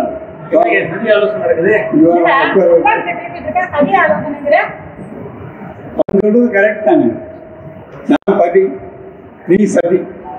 நம்ம ரெண்டு பேரும் பேசினா சதிபதி ஆலோசனை தானே? விஷயம் மேட்டிங் ஷோவில் பத்து தரம் பார்த்து விடாச்சே மறந்து போச்சா? செல்வகுமரா அந்த அமெரிக்கா ஆ. அது அப்ளிகேஷன் போட்டு இன்டர்வியூல அதெல்லாம் சக்ஸஸ் ஆச்சா? அதை சொல்லதான்ப்பா வந்தேன். ஒரு குட் நியூஸ் என்ன செலக்ட் பண்ணிட்டாங்க. கங்க்ராச்சுலேஷன்ஸ் கங்க்ராச்சுலேஷன்ஸ் அம்மன் சொல்லு அம்மன் சொல்லு. செலக்ட் பண்ணிட்டாங்கம்மா. ம். சரி சரி. இன்னும் ஒரு மாசத்துல வந்து ஜாயின் பண்ண சொல்லிருக்காங்க. ஒரு மாசத்துலயா? ஒரு மாசத்துக்குள்ள எப்படி பொண்ணை பார்த்து கல்யாணம் பண்ணி அவனை அனுப்ப முடியும் நோ ப்ராப்ளம்ப்பா ஆ. யூஎஸ்க்கு போனதுக்கு அப்புறம் எப்படியும் ஒரு வருஷத்துக்கு அப்புறம் ஒரு லீவ் கொடுப்பாங்க. அப்போ வரும்போது கல்யாணத்தை முடிச்சுக்கலாம் ரொம்ப நல்லா இருக்கா நீ சொல்றது ம். பொண்ணு பார்க்க அதை மாதிரி நிச்சயம் பண்ண வேணும்னா ஆமாண்டா. பொண்ணு பார்க்காத மட்டும் பார்க்காம இருந்து ஓகே சொல்லிடாதேங்கிறேன். அப்புறம் என்ன மாதிரி திண்டாடி தெருப்பறக்கு ஆமா ஆமா. உங்களுக்கு நான் கிடைச்சதா அதிகம். கரெக்ட் தான். அம்மா அதெல்லாம் இன்டர்நெட்ல பாத்துக்கலாம் நோ ப்ராப்ளம் ஆ, ஆ, ஆ. ஏன்னா ஏதோ சொல்லுவேன் என்ன? உங்க பையனை வந்து ஏதோ வைத்தியர் கலர்ல பொண்ணு அங்க கிடைச்சா பண்ணிக்கிட்டோம் நீங்க கிட்ட பேசிட்டு இருந்தேன் இல்ல நேத்து. ஆமா ஆமா ஆமா. இல்ல இது பாரு. நீ பிரிட்டிஷ் கலர்ல பொண்ணு கிடைச்சாலும் தெரியும் வருத்த காப்பி கொட்ட கலர்ல பொண்ணு கிடைச்சாலும் தெரியும் ஃபாரின்ல ஏதாவது பொண்ணு செட்டில் ஆனா கல்யாணத்தை பண்ணிக்கலாம். எங்களுக்கு அப்ஜெக்ஷனே இல்லை. நாங்க கல்யாணத்தை வந்து நடத்தி கொடுக்குறோம். ஆமாண்டா கண்ணா. சொல்லாம கொள்ள மட்டும் கல்யாணத்தை ஏன்டா கண் கலங்குறது ஏன்டா கல்யாணத்துக்கு முன்னாலே கண் கலங்கக்கூடாதுடா இல்லப்பா. நல்ல அப்பா அம்மாவுக்கு புள்ளையா பிறந்து நினைச்சு ரொம்ப சந்தோஷமா. நான் ஏதோ சொல்லணும்னு நீங்க நேற்று சொல்லியிருந்தேன். நீ ஃபாரின் போறேன்னு முடிவு பண்ணிட்டேன் இந்த வீட்டுல தனியா இருந்து நாங்க என்ன பண்ணிட்டோம்? இந்த வீட்டை வித்துட்டு நாங்க கிராமத்துல போய் செட்டில் ஆகலாம்னு பார்க்குறோம் என்ன உன்னோட அபிப்பிராயம்? அதுக்கு எதுக்குப்பா? வீட்டை வைக்கலாம். வாடகை விட வேண்டியதானே இல்லடா. வாடகைக்கெல்லாம் விட்டு வாடகை சரியா கிடைக்காது. அவன் வீட்டை ஒழுங்கா வச்சுக்க மாட்டான். நான் இங்க வந்து வந்து அதை பார்த்துட்டு போக சென்னைக்கு வந்து. அதெல்லாம் கஷ்டம்தான் ஏன்பா? என்னாலதானே நீங்க ஆசை ஆசையா கட்டின வீட்டு இருக்கிற நிலைமை வந்து? ரொம்ப சாரிப்பா நோ சாரி எங்க அப்பா தான் கிராமத்துல ஆசை ஆசையா வீடு கட்டினான். நான் உத்தியோக நிமித்தம் இங்க வந்து அதை பூட்டி வச்சுட்டு சென்னைக்கு வந்து செட்டில் ஆகலையா? கல்வி மண் மேல பாசம் வைக்கக்கூடாதுடா. ப்ராக்டிக்கலா திங்க் பண்ணு. ஆமா. ரத்தம் சதையுமா பிடுங்கி போட்டதுகளே பார்க்கும்போது மண்ணா கட்டியாச்சு பறந்து போறப்ப எங்க வீடு என்ன? இங்க பாரு. கொஞ்சம் அடக்கி வாசி ஆ. ஏமா நான் என்ன உங்களை விட்டு பர்மனண்டா புரிஞ்சுட்டு போறேன்? யூஎஸ்க்கு போய் சம்பாதிச்சு அங்க ஒரு வீடு வாங்குறேன் நீங்க ரெண்டு பேரும் அங்க வந்து கிரீன் கார்டு வாங்கி நீங்க கூட இருங்க. ஒரு அடிச்சா கிராமத்துக்கு போயிட்டு வாங்க. கிணத்து தவளை மாதிரி இருக்காம இந்த உலகம் எவ்வளவு அழகு சுத்தி பார்க்கணுமா. நீ சொல்றது கரெக்ட் தான். ஒன்று செய்ய. நம்ம வீடு கேட்ல வீடு விற்பனைக்குன்னு ஒரு போர்டு எழுதணும். கேட்டெல்லாம் அடிக்காது. ஏன்னா ரொம்ப நாளா விற்கலன்னு நினைச்சுப்பான். ஒரு அட்டையை கட் பண்ணி கொடு நானே கிருக்காம எழுதி தரேன். லோக்கல் டைம்ஸ்ல ஒரு விளம்பரம் கொடு. எந்த பார்ட்டி நல்ல பார்ட்டியா வந்தா அதை விற்கணும் ஓகே பக்கத்து பிள்ளையார் கோயிலுக்கு போயிட்டு வந்துருக்கேன் ஆ யூஎஸ்ல வேலை கிடைச்சிருக்கு ஆ. பிள்ளையாருக்கு ஒரு தேங்க்ஸ் சொல்லணும் ஆ தேங்காய் உடைக்கணும் ஏய், தேங்காய் உடைக்கணும்ல ஒரு நூற்றி ஒரு காலம் உடைப்பேன் எனக்கு கூட்டுரோட்டில் மாறி உட்காந்துருக்கான் எனக்கு தெரிஞ்ச இந்த மாதிரி உடைக்கிறதுக்குன்னு ஒரு ஒரு காய் வச்சுருக்கோம். என்கிட்ட சொல்லு. அஹ் அவங்ககிட்ட சொல்லு. இந்த மாமா சொன்னான்னு உனக்கு சீப் ரேட்டில் கொடுப்பான். ஒரே ஒரு தேங்காய் தான் உடைக்க அதுவும் ஆறு மாசத்துக்கு முன்னாடி நான் வேண்டினது. தேங்காய் பதினஞ்சு ரூபா. ஆ, இப்ப இருபத்தஞ்சு ரூபா ஆயிடுச்சு. அதுக்காக வேண்டுதல் நிறைவேற்ற விட்டுற முடியுமா? மறுபடியும் விளையாடுறதுக்குள்ள. நான் போய் உடச்சு வந்துடுறேன். அவன் சீக்கிரம். வேலையாடு பொறுத்து. எனக்கு புரியல. என்ன புரியல. நானும் தான் தினமும் விநாயகர் கோயிலுக்கு போனேன் தினமும் பாலபிஷேகம் செஞ்சேன்? ஏன் தெரியுமா? என் பையன் ஃபாரின் போக கூடாது இந்தியால என் கூட தான் இருக்கணும்னு வேண்டினேன். ஆ, ஆனா என்னோட வேண்டுகோள் நிறைவேறல. ஆ. ஆனா நம்ம பையன் ஒரே ஒரு தேங்காய் அதுவும் கடனா வேற சொல்லியிருக்கான். அவனோட வேண்டுகோள் விநாயகர் நிறைவேற்றி வச்சுட்டாரு. அதான் எனக்கு புரியல. லோகநாயகி தீர்ப்பு எழுதி. இன்னும் இம்ப்ளிமெண்டேஷன் தீர்ப்பு திருத்தப்படலாம். எல்லாமே நல்லபடியா நடக்கும். ஏன் கவலைப்படுற? போயிட்டு அது நல்லதுக்கு தான் நினைச்சிட்டு போறான். சரி சரி. ஈஸ்வரா. நடக்கிறது நடந்துட்டு போகுது. ஆமா. ஒரு அரை கப் நேரம் ஆகட்டும். Aunty aunty. அடடே வா அனு, வா வா. உட்கார்.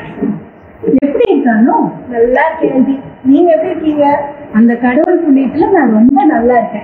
என்ன ஆண்டி கையில ஏதோ கதவு வச்சு வச்சுட்டு இருக்கீங்க? இது கதை புக்கு இல்லம்மா. கல்யாண யோகம். உன் ஃப்ரெண்டு தமிழ்ச்செல்விக்கு எவ்வளவு சீக்கிரம் கல்யாணம் நடக்கும்னு புக்கை வளர்த்துட்டு இருக்கேன். ஓஹோ. சரி நீ சொல்லு. பிராணிஷ் எப்படி இருக்கான்? பிராணேஷா அடர்ந்த வாளா இருக்கான். அவனை ப்ரீகேஜ்ல போட்டுட்டான் ஆண்டி. நவராத்திரிக்கு வச்ச கொலு பொம்மையில பாதியை உடைச்சிட்டான். யானைக்கு தும்பிக்கை இல்ல செட்டியார் பொம்மைக்கு தொண்டி இல்ல ஒரே சேட்டை தான். அப்புறம் ஏதோ இந்த டிவில காமன்வெல்த் கேம்ஸ் நீச்சல் போட்டியை பார்த்தானா? அதை பார்த்துட்டு தினமும் சோஃபால இருந்து பேக் சைட தலைவீழ குதிக்கிறான். கேட்டா டைவ் அடிக்கிறானா? அவனை அடிப்படாம பாத்துக்கிறதுக்காக சோஃபாவை சுத்தி ஒரே தலாவணியா போட்டு வச்சுக்கோ ஆண்டி நீ வேணா பாரு. ராணி பெரிய ஆளா வருவா. இதே மாதிரி ஒரு பேரனோ பேத்தியோ எங்க வீட்லயும் இருக்க எல்லா பொருளையும் போட்டு உடைக்கணும்னு நான் வேண்டாத கடவுள் இல்லை. ஆனா உன் ஃப்ரெண்டு தமிழ் செய்தி தான் கல்யாணத்துக்கே ஒத்துக்க மாட்டேங்கிறாளே. ஆமா ஆண்டி தமிழ் செல்வி எங்க? தமிழ் செல்வி அப்போயும் வாக்கிங் போறேன்னு சொல்லிட்டு போயிட்டாமா அப்படிங்களா? நல்லதா போச்சு ஆண்டி உங்ககிட்ட தான் ஒரு விஷயம் முக்கியமான விஷயம் தனியா பேசணும்னு வந்தேன். என்னம்மா ஏதாவது ப்ராப்ளமா ஆபீஸ்ல பயப்படாதீங்க ஆண்டி எல்லாம் நல்ல மேட்டர் தான். என் ஹஸ்பண்டோட சித்தப்பா பையன் பேரு சங்கர். அவனுக்கு வரன் தேடுறோம். சென்னையில ஒரு எம்என்சி கம்பெனில பிபி போஸ்டிங்ல இருக்கான். நல்ல சேலரி பார்க்க பையன் ரொம்ப அழகா இருப்பான். மாடர்ன் டைப்பு வசதியான ஃபேமிலியும் கூட. வசதியான ஃபேமிலின்னு சொல்றானோ? நம்ம குடும்பத்துக்கு ஒத்து வருமா கவலையே படாதீங்க ஆண்டி அவங்க பத்து ஏழு பிள்ளைங்களை படிக்க வைக்கிறாங்கன்னா பாத்துக்கோங்களேன் அத்தனை நல்ல மனசு. ரொம்ப சிம்பிள் டைப்பு ஆனா உன் ஃப்ரெண்டு தமிழ் செல்வி தான் கல்யாணத்துக்கு இன்னும் ஒரு வருஷம் போகட்டும்னு சொல்றாளே. ஆண்டி இப்ப பார்க்க ஆரம்பிச்சாதான் நாள் ஃபிக்ஸ் பண்ணி மண்டபம் கிடைச்சு அதுக்கே ஒன் இயர் ஆயிடுமே. இப்பெல்லாம் நிச்சயத்துக்கும் கல்யாணத்துக்கும் ஆறு மாசம் கேப்ல விடுறாங்க. நீ சொல்றதெல்லாம் சரிதாம்மா. ஆனா நீ சொல்ற அந்த பையனுக்கு தமிழ் செல்வியை பிடிக்கணும். தமிழ் செல்விக்கு அந்த பையனை பிடிக்கணும். ஆண்டி செல்வியோட டேஸ்ட் எனக்கு தெரியும். அவளுக்கு சங்கரை நிச்சயமா பிடிக்கும். நேத்து தான் என்னோட என்னோட கல்யாண சீடிய சங்கருக்கு போட்டு காமிச்சேன். அதுல நான் மணவரைக்கு போகும்பொழுது தமிழ் செல்வி தானே எனக்கு தோழி பொண்ணா வந்தா? அதை பார்த்துட்டு சங்கர் கேட்டான் யார் அந்த பொண்ணு? இவ்வளவு அழகா இருக்காளே அப்படின்னு கேட்டான் அதுக்கப்புறம் தான் எனக்கே இந்த ஐடியா வந்ததுன்னா பாருங்களேன். தமிழ் செல்வி அப்பா இல்லாத பொண்ணு. ஆனா நீ ஒரு கூட பிறந்த தங்கச்சியா இருந்து அவளோட கல்யாணம் நடக்க இவ்வளோ ஸ்டெப் எடுக்கிற பாத்தியா? ரொம்ப தேங்க்ஸ்மா கவலையே படாதீங்க ஆண்டி உங்களோட பர்மிஷனுக்காக தான் வந்தேன். நான் எல்லாத்தையும் பாத்துக்கிறேன் நீ தாராளமா பண்ணு. கொஞ்சம் இரு நான் போய் ஜாதகத்தை எடுத்துட்டு வரேன். வேண்டாம் வேண்டாம் இங்க வாங்க. அவங்க ஜாதி மதம் ஜாதகம் எதுவும் பார்க்காத ஒரு பாரதி விலாஸ் ஃபேமிலி ரொம்ப நல்ல டைப்பு சரிம்மா. எல்லாம் நல்லபடியா நடந்தா சரி. சரி ஆண்டி ஒரு தரகர் மாதிரி இத்தனை ஸ்டெப் எடுக்கிறேனே. என்ன கமிஷன் தருவீங்க? நீ வேணா ஒண்ணு பண்ணு. முறுக்குக்கார பையன் பிராணிச்ச எங்க வீட்டுல கொண்டு வந்து ரெண்டு நாள் விடு. அவன் எங்க வீட்டுல இருக்கிற எல்லா பொருளையும் போட்டு உடைக்கட்டும். என்ன சொல்றேன்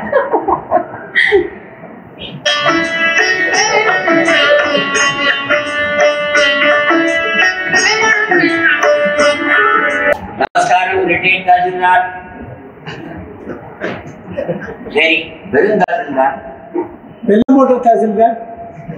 தாசில்தார் சார் பரவாயில்ல வாங்க நமஸ்காரம் யார் தெரியுமா அவரு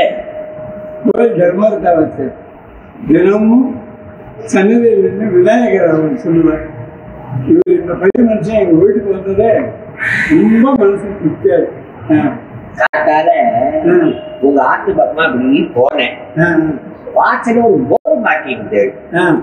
புதுசா தான் நாய் வாங்கியிருக்கீங்களோ இல்ல நாய் வாங்கணும்னு எனக்கு ஆசை தான் ஆத்துக்காரிகிட்ட கேட்டேன். நீங்க ரிட்டையர்ட் ஆயிட்டு வீட்டுல சும்மா தானே இருக்கு? நாய் வேறையா? அப்படின்னு சொன்னதுனால நானே இப்ப அட்ஜஸ்ட் பண்ணிட்டேன். வாஸ்தவமான பேச்சுதான். ஆ, அப்புறம்தான் கிட்ட போய் பார்த்தேன். வீடு விற்பனைக்கு போட்டிருக்கு. ஆ. வீட்டை விற்க போறீங்களோ வீட்டை விட்டா தானே போர்டு போடுவோம் அது இல்ல சுவாமி. நீங்க பார்த்து பார்த்து கட்டின வீடாச்சு அதை விற்க போறீங்களான்னு கேட்டேன். பார்த்து பார்த்து கட்டினாதான் விற்க முடியும். பக்கத்து வீடையா விற்க முடியும்? சரி வீடு விற்பனைக்குன்னு போட்டிருக்கு. எனக்கு ஒரு நப்பாசை. என்ன? நம்ம வீடு வாங்கலாம்னு ஒரு யோசிச்சேன். அப்புறம் தான் நினைச்சேன். மோருக்கே வத்து இல்ல. ஆ, எங்க இருந்து வீடு வாங்குறதுன்னு அப்புறம் டக்குன்னு மூலையில ஒண்ணு தோணித்து. கோயில் தர்மகர்த்தா கோயிலுக்கு டொனேஷன் கொடுக்குறேன்னு சொன்னார். சரி. நான் என்ன பண்ணேன்? உடனே ஆத்துக்கு போய் சைக்கிள் எடுத்துட்டு. ஓட்டமா ஓடி போய் ஆத்துக்கு போனேன் நான். இங்கதான் எனக்கு ஒரு டவுட் என்ன? சைக்கிள் எடுத்துன்னு மேல ஏறித்தானே போவான். எதுக்கு ஓட்டமா ஒண்ணு? செயினா இருந்து போச்சு. அவ்வளவுதான் தட்டுக்கா சார். இதுக்கா இவ்வளவு போட்டி போடுறா? சரி. சரி சுவாமி.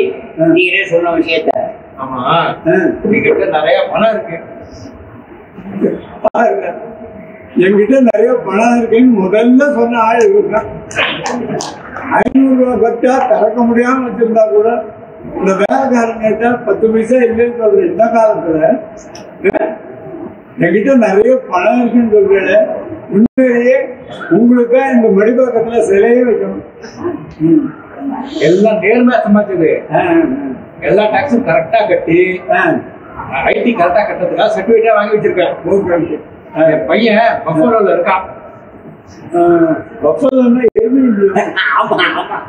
பாவி நீங்க வேற. பஃபலோங்கிறது அமெரிக்கால ஒரு இடத்துல பேர். ஓ. ஆமாமா ஒரு செக்கு அங்க என் பையன் கம்பெனில சிஓவா இருக்கான். சரி.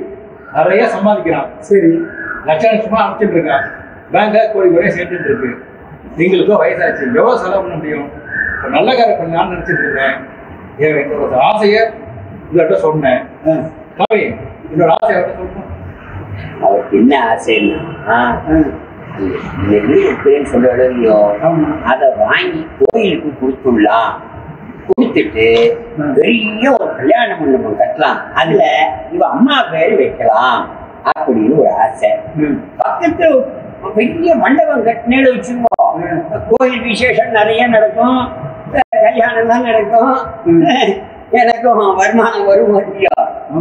அதனாலதான் உங்கள்கிட்ட ஐடியா வந்தேன் அதனால நீங்களே பார்த்து இதை முடிச்சுட்டாக்கா மாணிக்க வீடு விற்கிறோம் வாங்குறவன் கடை வைப்பானா கசாப் கூட வைப்பானான்னு தெரியாது. ஏன்னா பக்கத்தில் கோயில் நாளைக்கு எல்லாம் மோதி நிற்பான் ஆனால் இவர் என் வீட்டை வாங்கி கோயில் கொடுக்குறாருன்னு இருக்காரு பாருங்க. இது எவ்வளோ நான் புண்ணியம் பண்ணியிருக்கேன் தெரியும்? இந்த வீடு புண்ணியம் பண்ணியிருக்கணும் எங்கள் குடும்பமே புண்ணியம் பண்ணியிருக்கோம் அதனால் கண்டிப்பாக கொடுக்குறேன். ஆனால் இந்த வீட்டில் வந்து நான் மட்டுமே முடிவு எடுக்க முடியாது. என் ஆத்துக்காரி முடிவு எடுக்கணும். என் பையன் முடிவு எடுக்கணும் மூணு பேரும் சேர்ந்து பேசி உங்களுக்கு நல்ல இதை சொல்லணும். அதுக்கு நடுவில் காரியத்தினுடைய பொதுக்குழு எல்லாரும் வரிசையா கூட்டின்னு வந்துடாதீங்க.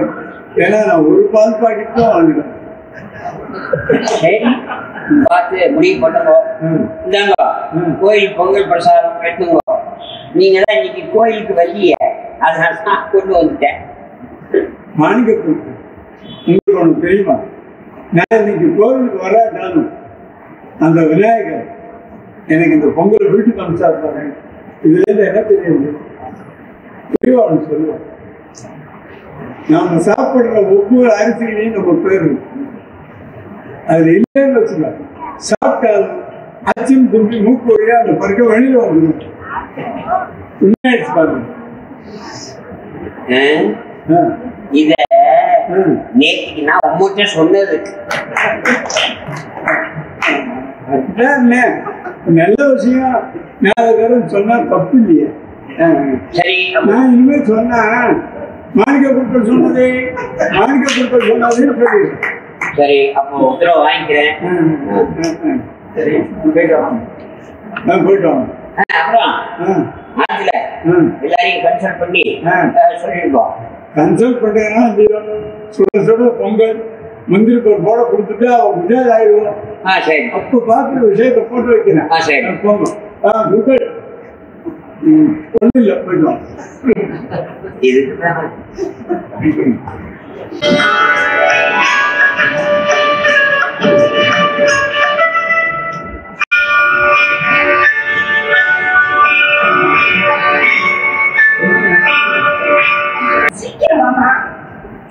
ஒரு குட் நியூஸ்மா என்ன? பேப்பர் பார்த்துட்டு குட் நியூஸ் சொல்றேன் அப்படி என்ன நல்ல விஷயம். அம்மா நமக்கு இவ்வளவு நாளா ஒரு நல்ல வீடு அமையலையேன்னு கவலைப்பட்டுட்டு இருந்தோம்ல.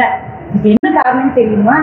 தெரியுமா அம்மா இந்த பிள்ளையார் கோயிலுக்கு பக்கத்துல தாசில்தார் வீடு இருக்குல்ல அந்த வீடு விலைக்கு வருதுமா? இங்க பாரு விளம்பரம் கொடுத்துருக்காங்க. ஆமா அது பத்து சதுரம் மாடி வீடாச்சே. பக்கத்துல ஒரு கிரவுண்ட் காலி மணி நேரம் கூட இருக்கு. ரொம்ப விலை சொல்லுவாங்க தமிழ்ச்சி இருக்கட்டுமேமா இருக்கட்டுமேமா பேசி பார்ப்போம் அம்மா என்னைய ஸ்கூலுக்கு கையை பிடிச்சி கூட்டிட்டு போகும்போதெல்லாம் இதுதான் நீ பிறந்த இடம்னு எத்தனை தடவை சொல்லியிருக்கேன்.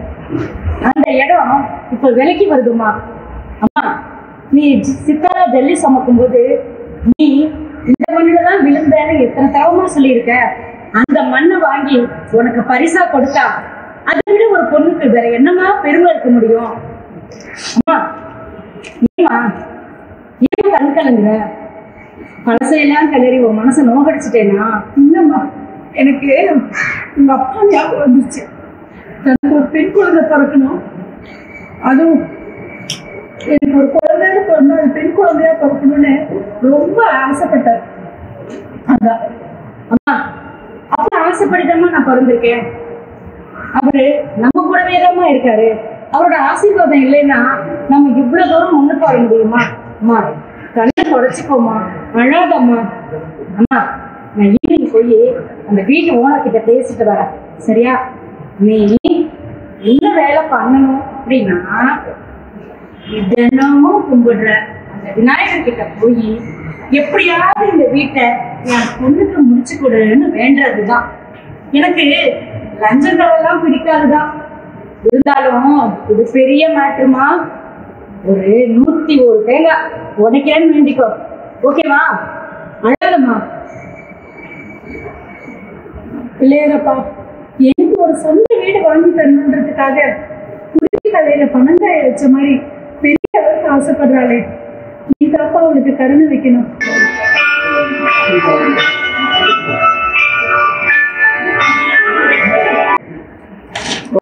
நாய்க்கு பேப்பர் கொடுக்கட்டுமா? ஐயோ பேப்பர் படிக்கும்போது காப்பி கொடுக்கறது தானே இந்த.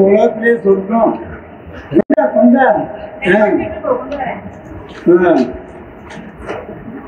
ஏடிஎம்ஐ கொள்ளை. மிஷின் திறக்க வராததால் மிஷினையே தூக்கி சென்றார்கள் பிரமாதம். எண்பது வயது கிழவ கருணைக்கலை வேண்டி கோர்ட்டில் விண்ணப்பம். வாழ்ந்து போகிறோம்னு நினைக்கிறார்கள் அப்புறம் அறுபது வயது அழகி இருபது வயது வாலிபருடன் கள்ளக்காரன். ஓட்டம். சரியான வயசுல லவ் பண்ணியிருந்தா ஒரு ஊப்பராக குடிச்சு போயிருக்கலாம் என்னங்க? எப்போ வந்த நீ நீங்க கள்ளக்காதல் பண்ணி நானா கள்ளக்காதல் பண்ணேன்? ஏதோ அறுபது வயசு இருபது வயசு கள்ளக்காதல் பண்ணிருக்கா எனக்கு இந்த பேப்பர்ல நியூஸ் படிக்கிறது பிடிக்கும். சின்ன வயசுல இருந்து.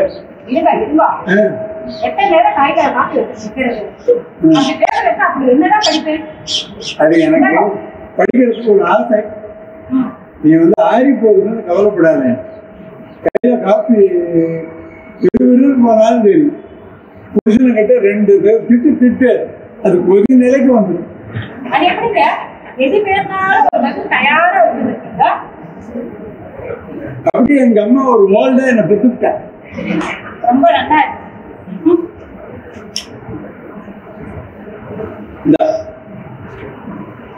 இங்க பாரு. ஓ, க- கண்ணு வேற சரியில்லை. ரெண்டாளா இதோ இப்ப ஆ, சொல்லுங்க காலம்புரையிலேருந்தே உன் கண்ணை கவனிச்சேன் ரொம்ப தைக்காது. எனக்கே பார்க்கறதுக்கு பிடிக்காது. செவந்திருக்க என்ன விஷயம்? நைட் தூக்கம் இல்லையா? வீடு விற்பனைக்குன்னு போர்டு மாட்டி விளம்பரமும் கொடுத்துருக்கீங்கல்ல ஆமா. எவ்வளவு ஒரு புறம் போட்டு ராத்திரி பத்துல பதினோரு மணிக்கெல்லாம் போன் பண்ணி விசாரிக்கிறான். ஐயோ. எனக்கு தூக்கமே போச்சு. உங்களுக்கு என்ன நீங்க நல்லா கொட்டை விட்டு தூங்குறேன். நான் எங்கேயும் தூங்குவேன் பதினொன்று யாருக்கு உனக்கு ஃபோன் வந்தது தெரியும்? பதினொன்று இருபத்தி ஏழுக்கு வந்தது தெரியும். பதினொன்று முப்பத்தொன்னுக்கு வந்தது தெரியும். எல்லாம் நான் கவனிச்சுருந்தாங்க இருந்தேன். போய் நான் தெரிஞ்சுமா பேசாம இருந்தேன்? நீ அரசியாச்சே நீயே பதில் சொல்லணும்னு சொல்லிட்டேன். இல்லத்தரசி தானே? அப்படியா நம்ம சொன்னோம் ம். இன்னைக்கு நீங்க என்ன பண்றது? போன எங்க ஹால்ல விட்டுட்டு தனியா போய் ரூம்ல போய் படுங்க அப்பதான் உங்களுக்கு அவஸ்தை புரியும். அப்படின்றோ வயசான காலத்துல மட்டும் மாமியார் தனி ரூம்ல படுக்க சொல்லக்கூடாது பிரார்த்தனப்படாது ஏன்னா நைட்ல அவர் என்ன கேட்டாரோ? தூக்கம் கேட்டாரோ? துர்கா பவன் போண்டா கேட்டாரோ? என்ன கேட்டாரோன்னு அப்புறம் குழந்தை என்ன பிரயோஜனம் சொல்லு. சரி சரி நீங்க ரொம்ப பயமுறுத்துறேன். நீங்க எங்க ஹால்லே படுத்து தொலைங்க. சரி. ஆண்டவா முன்னாடி நான் போய் தொலையணும். முன்னாடி போகணும் பின்னாடி போகணும்ல நம்ம கையில இல்லை ஆண்டவன் ஒரு ஷெட்யூல் போட்டு வச்சிருக்கான். எல்லாமே ஆரியாசியில தான் இருக்கும். ரொம்ப அபிமானமா இருந்தான்னு வச்சுக்கோ. டக்கல்ல டிக்கெட் வாங்கிட்டு முன்னாடி போடுவோம் போடுவே போடுவேன். ஆமாடா உங்ககிட்ட பேசி ஜெயிக்க முடியுமா? சார். சார். விளம்பரம் பார்த்தேன்.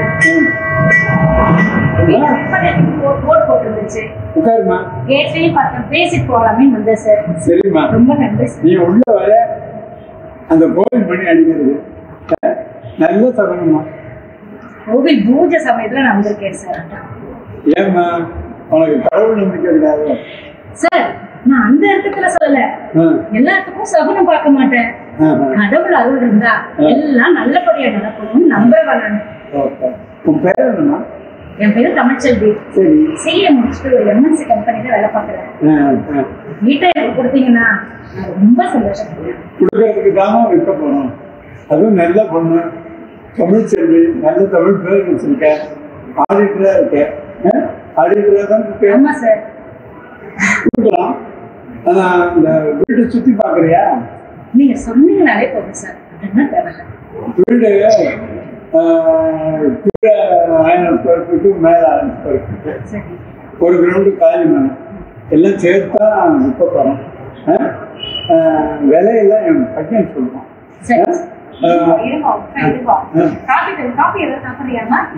என்னதான் லேட்டா கேட்பேன் பரவாயில்ல இப்படி லேட்டா கேட்கல சரி சரி சரி. காபி சாப்பிடுறியாமா ஆ, ஆண்டி. சரி காபி சாப்பிட்றேன்னு இவ்வளவு பணிவா கேட்கிறாளே என்ன ஒண்ணு அதுல இருந்தே தெரியல. என்னோட ஆட்கள் ஆமா இந்த வீட்டுல இவ வச்சதுதான் ஃபைனல் அத்தாரிட்டி அந்த அளவு பெண் சுதந்திரம் உள்ள வீடு. சார் கேட்கவே ரொம்ப சந்தோஷமா இருக்கு சார். விலையெல்லாம் நாங்க பேசி வச்சிருக்கோம். என் பையன் தமிழ் குமரன் வருவான். ஆ, செல்வகுமரன் அது தமிழ் செல்வன்னா நான் தமிழ் குமரன் வந்துருக்கேன் குமரா தமிழ் செல்வியன் சிஏ படிச்சிருக்கு. ஒரு பெரிய ஃபைனான்ஸ் கம்பெனியில் ஆடிட்டராக இருக்கான். என் தமிழ் குமரன் செல்வகுமரன் என்ன? பிடிச்சிக்கலானி ஒரு இன்ஜினியர் அமெரிக்கா போகணும்னு ஆசை இருக்கேன் விலை எவ்வளோன்னு சொல்லுங்க. ம். கிரவுண்ட் ரேட்டு இந்த ஏரியாவில் ஒன்றே ஏழு கோடி. இது ரெண்டு கிரவுண்ட் ரெண்டாயிரம் சதுர நாங்கள் மொத்தம் ரெண்டரை கோடி கொடுத்தா உடனே கிரைய முடியல நாங்கள் கிரவுண்டுக்கு மட்டும் தான் வேலை சொல்லியிருக்கோம். பில்டிங்க்கு சொல்லலை. ஆ கேஷ் பேமெண்ட் தான். லோன் அது இதுன்னு இழுத்தடிக்காம இம்மீடியட்டா ரெஜிஸ்ட்ரேஷன். சார். ஆ. ரெண்டு கோடியா. கொஞ்சம் குறைச்சு போறாங்க இல்ல மேடம் நாங்க கரெக்ட் ரேட்டு சொல்லியிருக்கோம். ஆமாம்மா இந்த விளம்பரத்தை பார்த்து நிறைய பேர் வந்து விசாரிக்கிறாங்க. இதை விட அதிகமா தொகை கொடுக்கவும் தயாரா இருக்காங்க. நாங்க தான் நல்ல மனுஷாலாம் பார்த்துட்டு இருக்கோம். ஆண்டி நீங்க சொல்ற தொகை அதிகம்னு நான் சொல்லல. என்கிட்ட ஒரு டூ ஃபார்ட்டி தான் இருக்கு. ஒரு பத்து லட்சம் குறைச்சிக்க கூடாது. மேடம் நீங்க கேட்ட அமௌண்ட்டுக்கு எத்தனையோ வீடு கிடைக்குமே அதை நீங்க பார்க்கலாமே. என்ன மேடம் சொல்லாதீங்க. நான் உங்களை விட அஞ்சு வயசு சின்னவர் யுவர் ஃபார்ட்டி என் ஒன்லி தேர்ட்டி ஃபைவ் என் பையன் வயசை கரெக்டா சொல்றீங்க. தெரியும் சார் எப்படி தெரியும். எனக்கு எப்படி நாற்பது சொல்றீங்க? ரொம்ப சஸ்பென்ஸா இருக்கேன். ஆ. சார். இந்த வீடு உங்களுக்கு சொந்த வீடு. ஆ. ஆனா எனக்கு பிறந்த வீடு சார் என்ன? காலி பண்ணி வாங்கணும். வீடு விட்டு யாருக்கும் வாடகைக்கும் விடலையே ஆமா வாடகைக்கே உள்ள நீ ஏதோ உள் வாடகை கொடுத்தியோ ம்? என்ன மாதிரி ஆதா- ஆதார் கார்டு? சார் இந்த யானை பொம்மை உங்களுக்கு ஞாபகம் இருக்கா? இல்லையாம்மா. உங்களுக்கு ஞாபகம் இல்லாம இருக்கலாம் சார். ஆனா என் வாழ்க்கையில கிடைச்ச முதல் கிஃப்ட்னு எங்க அம்மா சொல்லியிருக்காங்க. இந்த வீட்டுக்கு பெரிய பேக் இருக்கு இது கிடைச்சது ஆமா சார். எங்க அம்மா பேரு தாயம்மா. முப்பத்தஞ்சு வருஷத்துக்கு முன்னாடி. இந்த வீட்டை நீங்க கட்டும்போது. கட்டட வேலை செஞ்சு சித்தால வேலை செஞ்சிருக்காங்க. நிற மாசம் கர்ப்பிணியா இருந்த அவங்களுக்கு ஒரு பெண் குழந்தை பிறந்தது. அந்த பொண்ணு நான் தான் சார். ஆமா. ஆ. காலங்காத்திலேயே வேலை நின்று போச்சுங்க மேஸ்திரி கத்திட்டு இருந்திருக்காரு அந்த சமயம் நீங்க உங்க பையனை அஞ்சு வயசு பையனை கூட்டிட்டு வந்திருக்கீங்க கர்ப்பமா இருந்தவங்களுக்கு குழந்தை பிறந்தோடனே உடனே இந்த பத்து நாள் கூலியையும் கொடுத்து நீங்க வந்து ஆட்டோலயே எங்க அம்மாவை ஏற்றி வச்சு அனுப்பி விட்டுருக்கீங்க சார் அன்னைக்கு வந்து உங்க பையன் விருதானே சார் எனக்கு ஒரே பையன் தான்மா எனக்கு வேற கிளைவே கிடையாது சார். ரொம்ப காமெடியா பேசுறீங்க சார். அப்ப வந்து உங்க பையன் இந்த யானை பொம்மையை உங்க அம்மா கிட்ட கொடுத்து பாப்பம் கிட்ட கொடுங்கன்னு சொல்லியிருக்காரு. அது எங்க அம்மா உன் வாழ்க்கையில கிடைச்ச முத கிஃப்ட்னு சொல்லிட்டு பத்திரமாவும் வச்சிருந்தாங்க. உங்ககிட்ட காட்டினா உங்களுக்கு நீங்க கொண்டு வந்தேன். கண்டிப்பா தெரிஞ்சுட்டாங்க ரொம்ப சந்தோஷமா. என் பையன் நான் வீடு பார்க்க வரப்போ பசார்ல இந்த ஆசாசையாக இந்த யானை பொம்மை வேணும் ஆனால் குழந்தையா இருந்து உனக்கு உடனே அவன் கொடுத்தான் பாரு. அவன் நல்ல மனுஷன். ஆ? ஆனா அந்த சிக்கா காயமா பொண்ணு ஆமா சார் அவ்வளோ கஷ்டப்பட்டு உன்னை ஆடிக்கிற அளவுக்கு படிக்க வச்சிருக்காங்க. எனக்கு ரொம்ப பெருமையா இருக்கும். உனக்கு இந்த வீட்டை கொடுக்கறதுக்கு எங்களுக்கு ரொம்ப பரம சந்தோஷம். ஆமா சார். கஷ்டப்பட்டு கூலி வேலை செஞ்சு படிக்க வச்ச எங்க அம்மாவுக்கு. ஒரு சொந்த வீடு வாங்கி கொடுக்கணும் தான் சார் நீண்ட கால. அதனாலதான் என் கல்யாணத்தையும் நான் தள்ளி போட்டிருந்தேன். ஆமா சார் இந்த வீடு விலைக்கு வருதுன்னு தெரிஞ்ச உடனே நான் அடைஞ்ச சந்தோஷத்துக்கு அளவே இல்லை சார் உங்களுக்கு. வெறும் வீடு. ஆனா என் அம்மாவுக்கு கோவில் சார் அதனால இந்த வீட்டை எனக்கு கொடுத்தீங்கன்னா நான் ரொம்ப சந்தோஷப்படுறேன் சார் அதனால் அந்த வேலை பையன் சொல்லிட்டாங்க டூ பாயிண்ட் ஃபைவ் க்ரோஸ்னு எப்படிம்மா? என்னால் கொடுக்க முடியுமா? Aunty please aunty. சரிம்மா நீங்கள் இந்த மண்ணில் பிறந்த முட்டை பிறந்த எல்லாம் கேட்கறதுக்கு நெகிழ்ச்சியாக தான் இருக்கு. அதுக்காக பத்து லட்சத்தை விட்டு கொடுக்க முடியுமா? ஆண்டி டூ ஃபார்ட்டி வச்சிருக்கேன். ஃபர்ஸ்ட் ரிஜிஸ்டர் பண்ணிக்கலாம். அந்த பத்து லட்ச ரூபாய் வேணும் கொஞ்சம் கொஞ்சமாக கொடுத்துட்றேன். அது எப்படிம்மா? ஒரு மூணாவது மனுஷியை நம்பி நான் பத்து லட்சத்தை விட்டு கொடுக்க முடியும்? அதெல்லாம் சரிபட்டு வராது. என்ன ஏன் ஆண்டி நீங்க மூணாவது மனுஷன் நினைக்கிறீங்க உங்க வீட்டுக்கு பொண்ணா பாருங்களேன். சார் நீங்களாவது கொஞ்சம் சொல்லக்கூடாதா? ஒரு பத்து லட்ச ரூபாய் குறைச்சிக்க சொல்லுங்க சார். எங்க அம்மாவுக்கு எப்படியாவது உங்க வீட்டை நான் வாங்கி கொடுக்குறேன் சார். இல்லைம்மா ஆதங்கம் எனக்கு புரியுது ஆனால் ரிட்டையர்ட் ஆனவங்க நான் இவங்ககிட்ட தான் பொறுப்பெல்லாம் இருக்கு. நான் கன்சல்ட் பண்ணி சொல்கிறேன் நான் ஒன்று செய்கிறேன் ஒரு மாதம் அந்த போர்டை கரெக்ட் பண்ணுவேன் ஆ? அதுக்குள்ளே நீ வந்து அவங்க கேட்குற தொகையை ரெடி பண்ணு. அதுக்கு மீறி போனா போர்டை கட்டிட்டு என்னை கேட்காது. ஆனால் அந்த ஒரு மாதத்துக்குள்ள எத்தனை கோடி கொடுத்தாலும் ஒன்றை தவிர யாருக்கும் கொடுக்க மாட்டேன் ஏன்னா எனக்கு தெரியுமா வேற எவ்வளோ கோடி கொடுத்தாலும் எங்கேயாவது வீடு கட்டலாம். ஆனால் நீ பிறந்த இடத்த வாங்கி கொடுக்க முடியாது ரொம்ப நன்றி சார் கண்டிப்பா நீ நம்பிக்கையோட பாசிட்டிவான செய்தியா சொல்லுங்க சார். ஆனா அந்த பத்து லட்சத்துக்கு மட்டும் பிறப்பேன்னு நினைச்சுன்னு போகாதம்மா. அதையும் சேர்த்து கால்குலேட் பண்ணு. சரி சார் வரேன் சார். ஆ. மேடம் யானை பொம்மையை வச்சுட்டு போறீங்களே? ரிஜிஸ்டர் பண்ணும்போது பத்திரத்தோட வாங்கிக்கிறேன். எவ்வளவு நம்பிக்கையோட போறாங்க நம்பிக்கை தான்டா வாழ்க்கை. பத்து லட்சம் தான் நமக்கு வாழ்க்கை. ஏதோ நம்மகிட்ட தான் இவ்வளவு பணம் இருக்கே அவனை ஒரு பத்து லட்சத்தை குறைக்க கூடாதா நினைச்சேன் நீங்க இந்த மாதிரி ஏடாபடமா பேசல எனக்கு தெரியும். ம். இத பாருங்க ம். பத்து லட்சத்தை குறைக்கணும்னா. பத்து நாளுக்கு உங்களுக்கு சாப்பாடு கிடையாது. இந்த பாருங்க அதே பத்து லட்சத்தை குறைச்சா பத்து நாளைக்கு சாப்பாடு கிடைக்காதுன்னு நாங்க ஒரு நாளைக்கு ஒரு லட்சத்துக்கா முடுங்குறேன் நீயாவது அம்மா அதெல்லாம் பாவண்டா அந்த பொண்ணு அதெல்லாம் எனக்கு ஒன்றும் தெரியாதுப்பா. ம். எதுவாக இருந்தாலும் அம்மா தான் முடிவு பண்ணணும் கொண்டாட்டி வரப்பவே இப்படி விளையாட்டு கம்மியா இருப்பாங்க.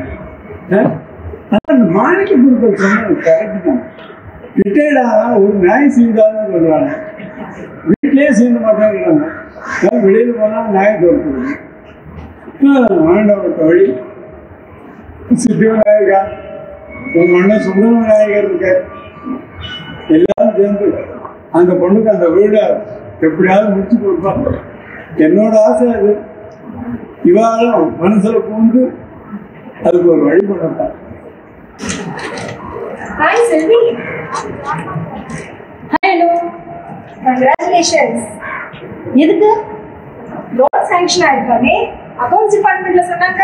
ஓ அப்படியா? ரொம்ப சந்தோஷம். அண்ணா. நல்ல செய்தி சொன்ன இன்னைக்கு. ஆமா. எவ்வளவு லோன் எவ்வளவு? ஆம், ஒரு டூ டுவெண்ட்டி லோனு டுவெண்ட்டி இருக்கு. டூ ஃபார்ட்டி தான். ஒரு பத்து லட்சம் குறையுதானே ஏதாவது ஒரு ஐடியா சொல்ல. சரி நகை எத்தனை வச்சிருக்க? ஏன் உனக்கு தெரியாததா? நகையெல்லாம் சேர்த்து தானே ஒரு இருபது லட்சம் சேர்த்தேன். சரி ஒண்ணு பண்ணு. பேசாம இந்த வீட்டை விட்டுட்டு. உங்க அம்மா உங்க அம்மாவுக்கு வேற ஒரு நல்ல வீடா வாங்கி கொடுத்துரு. அது மட்டும் முடியாது. இந்த வீடு தான் வேணும். நீ என்னோட ட்ரூ ஃப்ரெண்டு தானே. என்னோட உணர்வுகளை மதிச்சு ஒரு நல்ல ஐடியா சொல்ல ப்ளீஸ் பண்ணு. ம். பேசாம கல்யாணத்தை பண்ணிக்கோ. ஏய் என்ன வளர்ற நான் ஒன்னும் உடல்ல நீ ஐடியா கேட்ட சொன்னேன். அவ்வளவுதான். இங்க வா. என்ன? இந்த போட்டோவை பாரு. யாருது? இவன் பேர் சங்கர். சரி. என் ஹஸ்பண்டோட சித்தப்பா பையன். இவனுக்கு வரன் பார்க்கணும். இவன் சென்னையில ஒரு எம்என்சி கம்பெனில பிபி போஸ்டிங்ல இருக்கான். பையன் ரொம்ப அழகா இருப்பான். மாடர்ன் டைப் வசதியான ஃபேமிலியும் கூட இவனை நீ கல்யாணம் பண்ணிக்க சம்மதிச்சுனா இவன் கிட்ட பேசி உனக்கு பணமா பத்து லட்சம் வாங்கி தருவேன். அனு ஆம்பளை கிட்ட பணம் வாங்கினாலும் அதுவும் வரதட்சம் தான். கண்டிஷனல் மேரேஜ் எனக்கே இது கேவலமா இல்லையா? இங்க பாரு சும்மா ஒண்ணும் அவன் உனக்கு தர மாட்டான் கொஞ்சம் கொஞ்சமா திருப்பி அடைக்கணும். அதுக்கப்புறம் தான் கல்யாணம். பட் நோ இன்ட்ரெஸ்ட் உன் மேல இருக்கிற இன்ட்ரெஸ்ட்ல தரான். ஏய் என்ன அவன் பார்த்துருக்கானா? நேத்து தான் என்னோட கல்யாண சீடியில உன்னை பார்த்தான். அப்ப நீ எல்லாம் பிளான் பண்ணி தான் பண்ற. அப்படிதான் இல்ல செல்வி. இங்க பாரு உன் லட்சியம் நிறைவேற. இது ஒரு வழி. எப்படியும் கல்யாணம் பண்ணிக்க போறேன்னு சொல்ற. அதையே சங்கர பண்ணிக்க கூடாது. அண்ணோ நான் ரொம்ப குழம்பி போயிருக்காங்க ஒரு டூ டேஸ் டைம் தரியா யோசிச்சு சொல்றேன். நல்லா யோசி நல்ல முடிவா சொல்லு. ஃபர்ஸ்ட் வா ஏ டு பி காஃபி சாப்பிட்டுட்டே பேசலாம். எல்லா குழப்பமும் தீர்ந்து போயிடும். அப்படியா? சரி வா போலாம். எனக்கும் காஃபி குடிச்சா அந்த கலந்து தமிழ் செல்வி நீங்க இன்னும் தூங்கல? இல்லம்மா தூக்கம் வரல. நீ சந்தோஷமா இருக்கணும்ன்றதுக்கு வேண்டிதான் நான் கல்லு மண் சுமந்து கஷ்டப்பட்டு உன்னை படிக்க வச்சேன். ஆனா நீ என்னடான்னா நான் சந்தோஷமா இருப்பேன்னு நினைச்சிட்டு உனக்கு நீயே கஷ்டத்தை வர வச்சுக்கிற பாத்தியா? அது எனக்கு கொஞ்சம் கூட பிடிக்கல. அம்மா எதுவும் பிடிக்கலங்கிற? நீ அந்த தாசில்தார் ஐயா வீடே வேணும்னு ஒத்த காலில் நிக்கிற பாத்தியா? அது எனக்கு கொஞ்சம் கூட பிடிக்கல. இங்க பாரு தமிழ்ச்செல்வி ஓலை குடிசையா இருந்தாலும் அதுல எப்படியும் நம்ம சந்தோஷத்தை வர வச்சுக்கலாம். நான் ஒரு பாகத்துக்கு வேண்டி கேக்குறேன். இந்த மைசூர் மகாராஜா அரண்மனை சுத்தி பார்க்கும்போது நீ பிறந்திருந்தேன்னா அந்த அரண்மனை நீ எனக்கு வாங்கி தருவியா? அம்மா இதெல்லாம் டூ மச்மா ஒரு பத்து லட்ச ரூபாயில தான் அந்த வீடு வாங்குறது இழுப்பறியா இருக்கு. அதுக்கு கூட ஒரு ஐடியா சொல்லியிருக்காங்க. என்ன? அந்த சங்கரை கல்யாணம் பண்ணிக்கிட்டா பத்து லட்சம் வாங்கி தரேன்னு சொன்னாலும் அம்மா எப்படிமா தெரியும் உனக்கு? உங்ககிட்ட சொல்லிட்டாளா? போன வாரம் சங்கரை பத்தி என்கிட்டயும் வந்து பேசினான் எனக்கு இந்த கடன் விஷயம் எல்லாம் தெரியாது. நானும் ஒரு யூகத்துல தான் சொல்றேன். அம்மா அந்த ஐடியால ஏதாவது தப்பு இருக்காமா தமிழ்ச்செல்வி கடன்னா தப்பு இல்லைம்மா ஆனா கல்யாணம்னா அது நமக்கு ஒத்து வராது. ஏன்னா அவங்க ரொம்ப பெரிய இடம். நாளைக்கே உன்னை ஒரு அவசர ஆத்திரம்னு நான் உன்னை பார்க்க ஓடி வந்தேன்னு வச்சுக்க அந்த வாட்ச்மேன் எல்லாம் தாண்டி தான் வரணும். இங்கே பாரு கல்யாணத்துக்கு அப்புறம் எத்தனையோ சடங்கு சம்பிரதாயம் இருக்கு.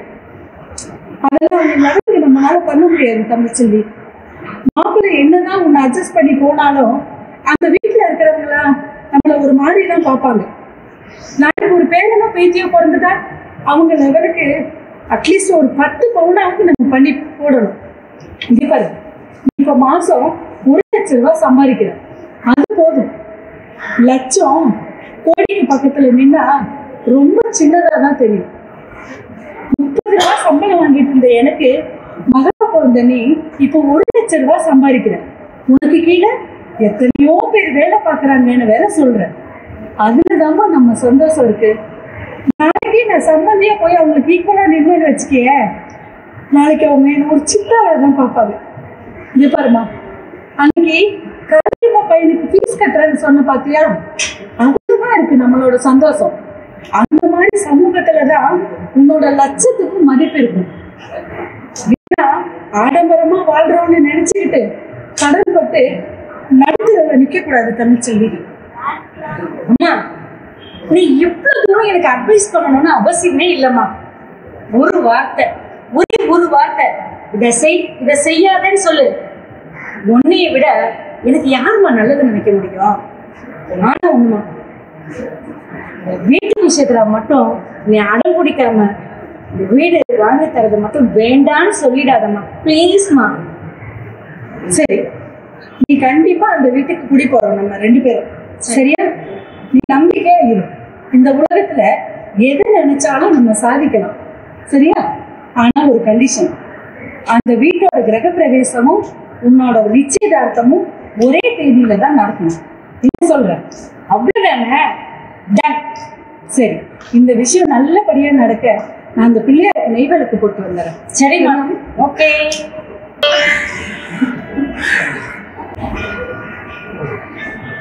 நீ தாய்மா ஓகேவா இருக்கேடா? நல்லா இருக்கே சாமி. என்ன? நெய் விளக்குல அடிச்சு வந்திருக்க இந்த மாதிரி நீங்க பிரார்த்தனை பண்ணி நான் பார்த்ததே இல்லையே. அது ஒண்ணும் இல்ல. என் பொண்ணு தமிழ் செல்விக்கு ஒரு வேண்டுதல். அது நல்லபடியா நிறைவேறணும்னு அந்த பிள்ளையார வணங்கிட்டு போலான்னு வந்தேன். இந்த பிள்ளையாரு நினைச்சதை நிறைவேற்றிருப்பார். அவருக்கு ஒரு பிரார்த்தனை இருக்கு அதை நிறைவேற்றிட்டாருன்னா பாருங்களேன். என்ன சாமி சொல்றீங்க? நீங்க சித்தால இருந்து வீடு கட்டினாலோ இல்லையோ தான் தாசில்தார் வீடு அது விலைக்கு வந்திருக்கு. அதற்கு தர்மகர்த்தா வாங்கி கோயிலுக்கு கொடுக்கிறேன்னு சொல்லிட்டார். அப்புறம் என்ன? அவருடைய பிரார்த்தனை நிறைவேறிடுச்சோ? அவர் பிரார்த்தனையை நிறைவேறிட்டு உங்க பிரார்த்தனை நிறைவேற்றி வைக்க மாட்டாரா என்ன? தாசில்தார் சொல்றீங்க? அதே தான் சரிங்க சாமி. நான் இப்ப கிளம்புறேன். இன்னைக்கு பிரார்த்தனை போகிறேன்னு சொன்னா பிரார்த்தனை சொல்லாம போறாரு யாரப்பா என்ன பண்றது? என்னன்னு தெரியல. வாங்க தர்மர்த்தா எப்போது வரும்போது சிரிச்சுட்டே வருவேள். வந்து விநாயகர் எல்லாம் சொல்லுவேல இன்னைக்கு என்ன இப்படி மூட்டி தொங்கப்பட்டிருக்க ஒன்னும் தோலப்படாது அந்த வீடு நமக்கு தான் சரின்னு சொல்லிவிட்டார். அது ஏன் கவலைப்படணும்? தான் ரெடியா கையில இருக்கு. அப்புறம் என்ன? அதை சொல்லத்தான் வந்தேன்.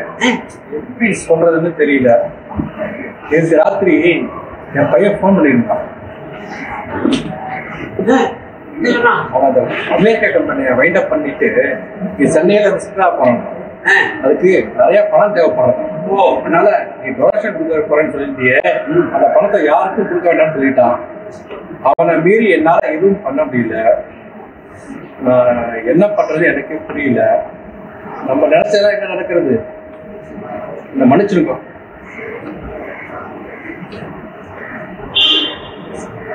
வேறப்பா என்னது இது?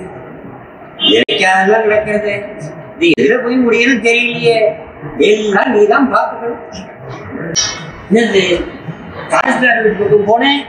போர்டை கட்டிட்டேன் வீடை வித்துட்டாரோ டாக்டர் கொடுத்துட்டாரோ? மனுஷனை ஃபோன் பண்ணி கேட்போம். Hello? Retired தாசில்தாரா? Hello? Hello? Hello? Hello retired தாசில்தாரா?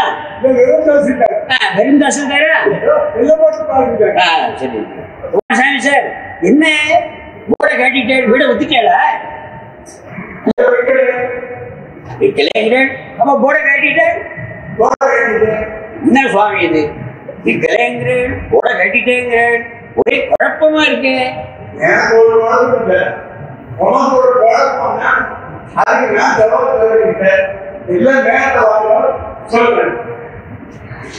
சஸ்பென்ஸா இருக்குமோ? என்ன சஸ்பென்ஸோ பிள்ளையாரப்பா. அம்மா. தமிழ்ச்செல்வி என்னாச்சு? எதுக்கு இவ்வளவு டென்ஷனா வந்து உட்கார அம்மா ஏதாவது ஃபோன் வந்ததா? இல்லையம்மா. அம்மா ஆஃபீஸ் போயிட்டு தாசில்தார் வீட்டு வழியா தான் வந்தேன். அவர் ஃபோனும் பண்ணலை. பதினஞ்சு நாள் டைம் கொடுத்தாரு இல்லையா? ஃபோன் பண்ணுவாருன்னு வெயிட் பண்ணேன். ஃபோனும் பண்ணலை. வீட்டில் இருந்த மோடியை எடுத்துட்டாருமா என்ன மனுஷனும் இவங்கெல்லாம் பெரிய மனுஷன் மாதிரி கொஞ்ச நாள் நடந்துக்கிறாரா? அன்னைக்கு வாக்கு கொடுத்தாருல்ல? அந்த வாக்கு காலத்துல பறக்க விட்டுட்டாருமா ஏமா நீ அவரை பத்தி எவ்வளவு சொன்ன. ஆனா ஒரு பெரிய மனுஷனா அவர் நடந்துக்கிட்டாரா? நான் எவ்வளவு சந்தோஷமா இருந்தேன் தெரியுமா? அந்த வீட்டை வாங்கி அவனுக்கு பரிசா கொடுக்குறேன்.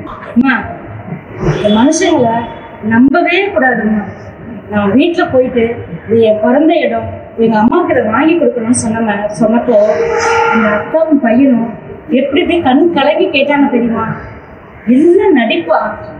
என்னால ஏத்துக்கவே முடியலம்மா. இங்க பாரு தமிழ்ச்செல்வி. நீ ஒன்றும் கவலைப்படாது. அந்த வீடு நமக்கு கிடைக்கணும்னு ஆண்டவன் தலையில எழுதியிருந்தா கண்டிப்பா கிடைச்சிருக்கு. இப்ப அது நமக்கு இல்லைன்னு ஆயிருச்சுன்னு நீ சொல்ற. சரி விடு. வேற நல்ல வீடா பாத்துக்கலாம் நீ எதுக்கு இப்ப கண் கலங்கிட்டு இருக்க? ஒரு நிமிஷம் இவங்கள போ. யாரு? ஐயா வாங்க ஐயா. வாங்கம்மா வாங்க தம்பி. உள்ள வாங்க ஐயா. எப்படி இருக்கீங்க? ஒன்றும் வேண்டாம். ஒன்றும் வேண்டாம். ஒன்று எப்படி இருக்கா? கொஞ்சம் வருத்தமாக தான் இருக்கா? எல்லாம் வருத்தம் சரியா போகும் அம்மா அவருக்கு ஒரு பெரிய விஷயத்துக்கு தேங்க்ஸ் சொல்லிட்டு போகலான்னு தேங்க்ஸ் சார் எனக்கு எதுக்கு? இல்லைம்மா என் பையன் இந்தியாவிலே இருக்க மாட்டேன். அமெரிக்கா போகிறேன்னு சொல்லிட்டு இருந்தான் ஆனால் நீ அம்மாவுக்காக இந்த வீட்டை வாங்கி கொடுக்கணும்னு இவ்வளோ பாடுபட்டியே அதை பார்த்து அவன் மனசு தெரிஞ்சுட்டாமா சொல்லுமா எப்படி தூக்கத்துல ராத்திரி தமிழ் செல்வி தமிழ் செல்வின்னு ஆ. அதனால சரி பார்த்தோம் இவர்கிட்ட தமிழ் செல்விக்கு நாமளே பத்து லட்சத்தை குறைச்சி கொடுத்துடலாமான்னு பேசிட்டு இருக்கேன் அதெல்லாம் இல்லைம்மா. தமிழ் செல்வி ஒரு இன்ஸ்பிரேஷனாக இருக்கு அவ்வளோதான் அதுக்காக பாருங்க போகிறதில்லைன்னு முடிவு பண்ணிட்டோம். எங்கள் கூடவே இருக்கிறதா முடிவு பண்ணிட்டோம். அதனால நாம அவனுக்கு தேங்க்ஸ் சொல்லிட்டு போகலாம். சார் நான் ஒன்றும் மகாத்மாவோ மகாத்மா இல்லை சார். சாதாரண மனுஷி ஆ. எனக்கும் இருக்கும் நீங்க ஒரு வார்த்தை வீடு இல்லைன்னு சொல்லிட்டீங்கன்னா அமைதியா இருந்திருப்பேன் எனக்கு நம்பிக்கை கொடுத்துட்டு இப்படி பண்ணிட்டீங்களே சார் ரொம்ப வருத்தமா இருக்கு சார் நீயும் மகாத்மா. அப்பா நான் முதியோரத்தில் விட்டுட்டு அமெரிக்கா போய் ஜாலியாக இருக்கிறது இங்கேயே வேலை செஞ்சா அம்மாவுக்கு வீடு கட்டி கொடுக்கணும்னு நினைக்கிற நீ உண்மையிலேயே மகாத்மா. உண்மையிலேயே மகாத்மா. நாங்கள் ஒரு முடிவு பண்ணிருக்கோம் நீ வருத்தப்பட வேண்டிய அவசியமே இல்லை. உனக்கு அந்த வீடு இல்லைன்னு நான் சொல்ல நீ கடனும் வாங்கணும். நாங்கள் ஒரு வேற ஐடியாவும் வந்து எப்படின்னா டைமா நீங்கள் கேளு இப்போ என் பையன் அவங்க பொண்ணுக்கு அந்த யானை பொண்ணு குட்டா கொடுத்தான் அது வாழ்க்கையிலேயே முதல் குட்டு அந்த மாதிரி எங்க குடும்பத்துக்கு உங்க பொண்ணு கிஃப்டா கொடுங்க என் பையனுக்கு மனைவியா இருக்குங்க எங்களுக்கு மருமகளா கொடுங்கன்னு நான் கேட்டேன். ரொம்ப சிம்பிள்மா. நேற்றுக்கு நாங்கள் உட்காந்து நல்லா திங்க் பண்ணோம். பணம் காசு என்ன பிரயோஜனம்? நீ சொல்லுப்பா. அம்மா தமிழ்ச்செல்வி எங்க அப்பா அம்மா எவ்வளவு தூரம் கெஞ்சினாங்க நான் கேட்கல ஆனா உங்களை சந்திச்சதுக்கு அப்புறம் நீங்க உங்க அம்மா மேல வச்சிருக்கிற அளவிடாத பாசத்தை பார்த்ததுக்கு அப்புறம் நான் என் முடிவு மாத்திக்கிட்டேன். நானும் எங்க அப்பா அம்மா கூட இந்தியாவிலே இருக்கிறதுன்னு முடிவு பண்ணிட்டேன். நான் இப்ப இங்கே வருஷத்துக்கு முப்பது லட்ச ரூபா சம்பாதிக்கிறேன். அப்பாவுக்கு பென்ஷன் வருது. ஊர்ல வெள்ள நிலம் வீடு சொத்து இருக்கு. இதுக்கு மேல எதுக்கு ஆசை? தோணி போச்சு. பணம் சேர்ந்தா பேங்க் பேலன்ஸ் கிரெடிட் ஆகும் ஆனா பாசங்கள் டெபிட் ஆயிடும்னு நீங்க எனக்கு கத்து கொடுத்துருங்க தமிழ் ரொம்ப தேங்க்ஸ் ஆமா கல்யாண கல்யாண செலவெல்லாம் நாங்க பாத்துக்கிறோம். எங்களுக்கு இதை விட வேற பெரிய சந்தோஷம் எதுவுமே இல்ல. என் பையனுக்காக இப்போ அந்த வீட்டை உங்க பேர்ல கீழ் போர்ஷன் எழுதி வச்சோம். மேல நாங்க நீங்கள் கீழே பக்கத்தில் இருக்கிற நேரத்தில் காய்கறி பூத்தோட்டம் எல்லாம் போட்டு கோவிலுக்கு சர்வீஸ் பண்ணிடுங்க. என்ன? இது வந்து நாங்கள் வாய் வார்த்தையாக சொல்லி நீங்கள் நாளைக்கு போயிட்டா என்ன பண்ணுன்னு சொல்லிட்டு தான் எங்கள் வக்கீல் ஸ்ரீகுமாரை கன்சல்ட் பண்ணி ஒரு ஒயிட் பேப்பர்லேயே எழுதினா போகணும்னு நேற்று உட்காந்து டவுட் பண்ணி நாங்கள் மூணு பேரும் கையெழுத்து போட்டு விட்னஸ் போட்டு வந்தோம் வீடெல்லாம் ரெஜிஸ்டர் பண்ணுறத விட இந்த மாதிரி விட்னஸ் போட்டால் போதும்னு அவர் சொன்னார். அதனால உங்க எழுதி இப்போ உங்க பொண்ணு உங்களுக்கு வீடு வாங்கி கொடுக்கறது கரெக்ட் ஆயிடுச்சு இல்ல? ஐயா என் சந்தோஷத்தை சொல்ல வார்த்தையே இல்லை. ஆனா கல்யாணம் பண்ணிக்க போறது அவங்க ரெண்டு பேரும். கொஞ்சம் ஒரு அஞ்சு நிமிஷம் பேசி முடிவெடுத்தா நல்லா இருக்குமே. இங்க பாருங்க இந்த பொண்ணு பிறந்த இடத்தையே புகுந்த இடமா மாத்த போறோம். இனிமே என்ன பேச போறாங்க இப்போ பொண்ணு மாப்பிள்ள பேசணும்னா அது வந்து விவாதத்துல தான் முடியுது. இது புரிஞ்சுன்ற ஜோடி. அதுவும் நாற்பது வயசு முப்பத்தஞ்சு வயசு. இனிமே என்ன பேச போறாங்க? என்ன? நல்லபடியா நடக்கும் யாராலும் கொண்டதை ஏன் வேஸ்ட் பண்றோம் இவ்வாறுமா நீ ரெடின்னு சொன்னா போதும். இப்பவே பாப்பகத்துல மாத்திக்கிறாங்க. என்ன? உன் பொண்ணை கேட்டு சொல்லு. ஏன்னா பொண்ணோட அபிப்பிராயம் வந்து? தமிழ்ச்செல்வி என்னம்மா சொல்ற? அம்மா இங்க வாமா போய் ஆண்டி பக்கத்துல நிற்கணும் கையில வச்சுக்கோங்க. ஏங்க கொஞ்சம் வாங்க.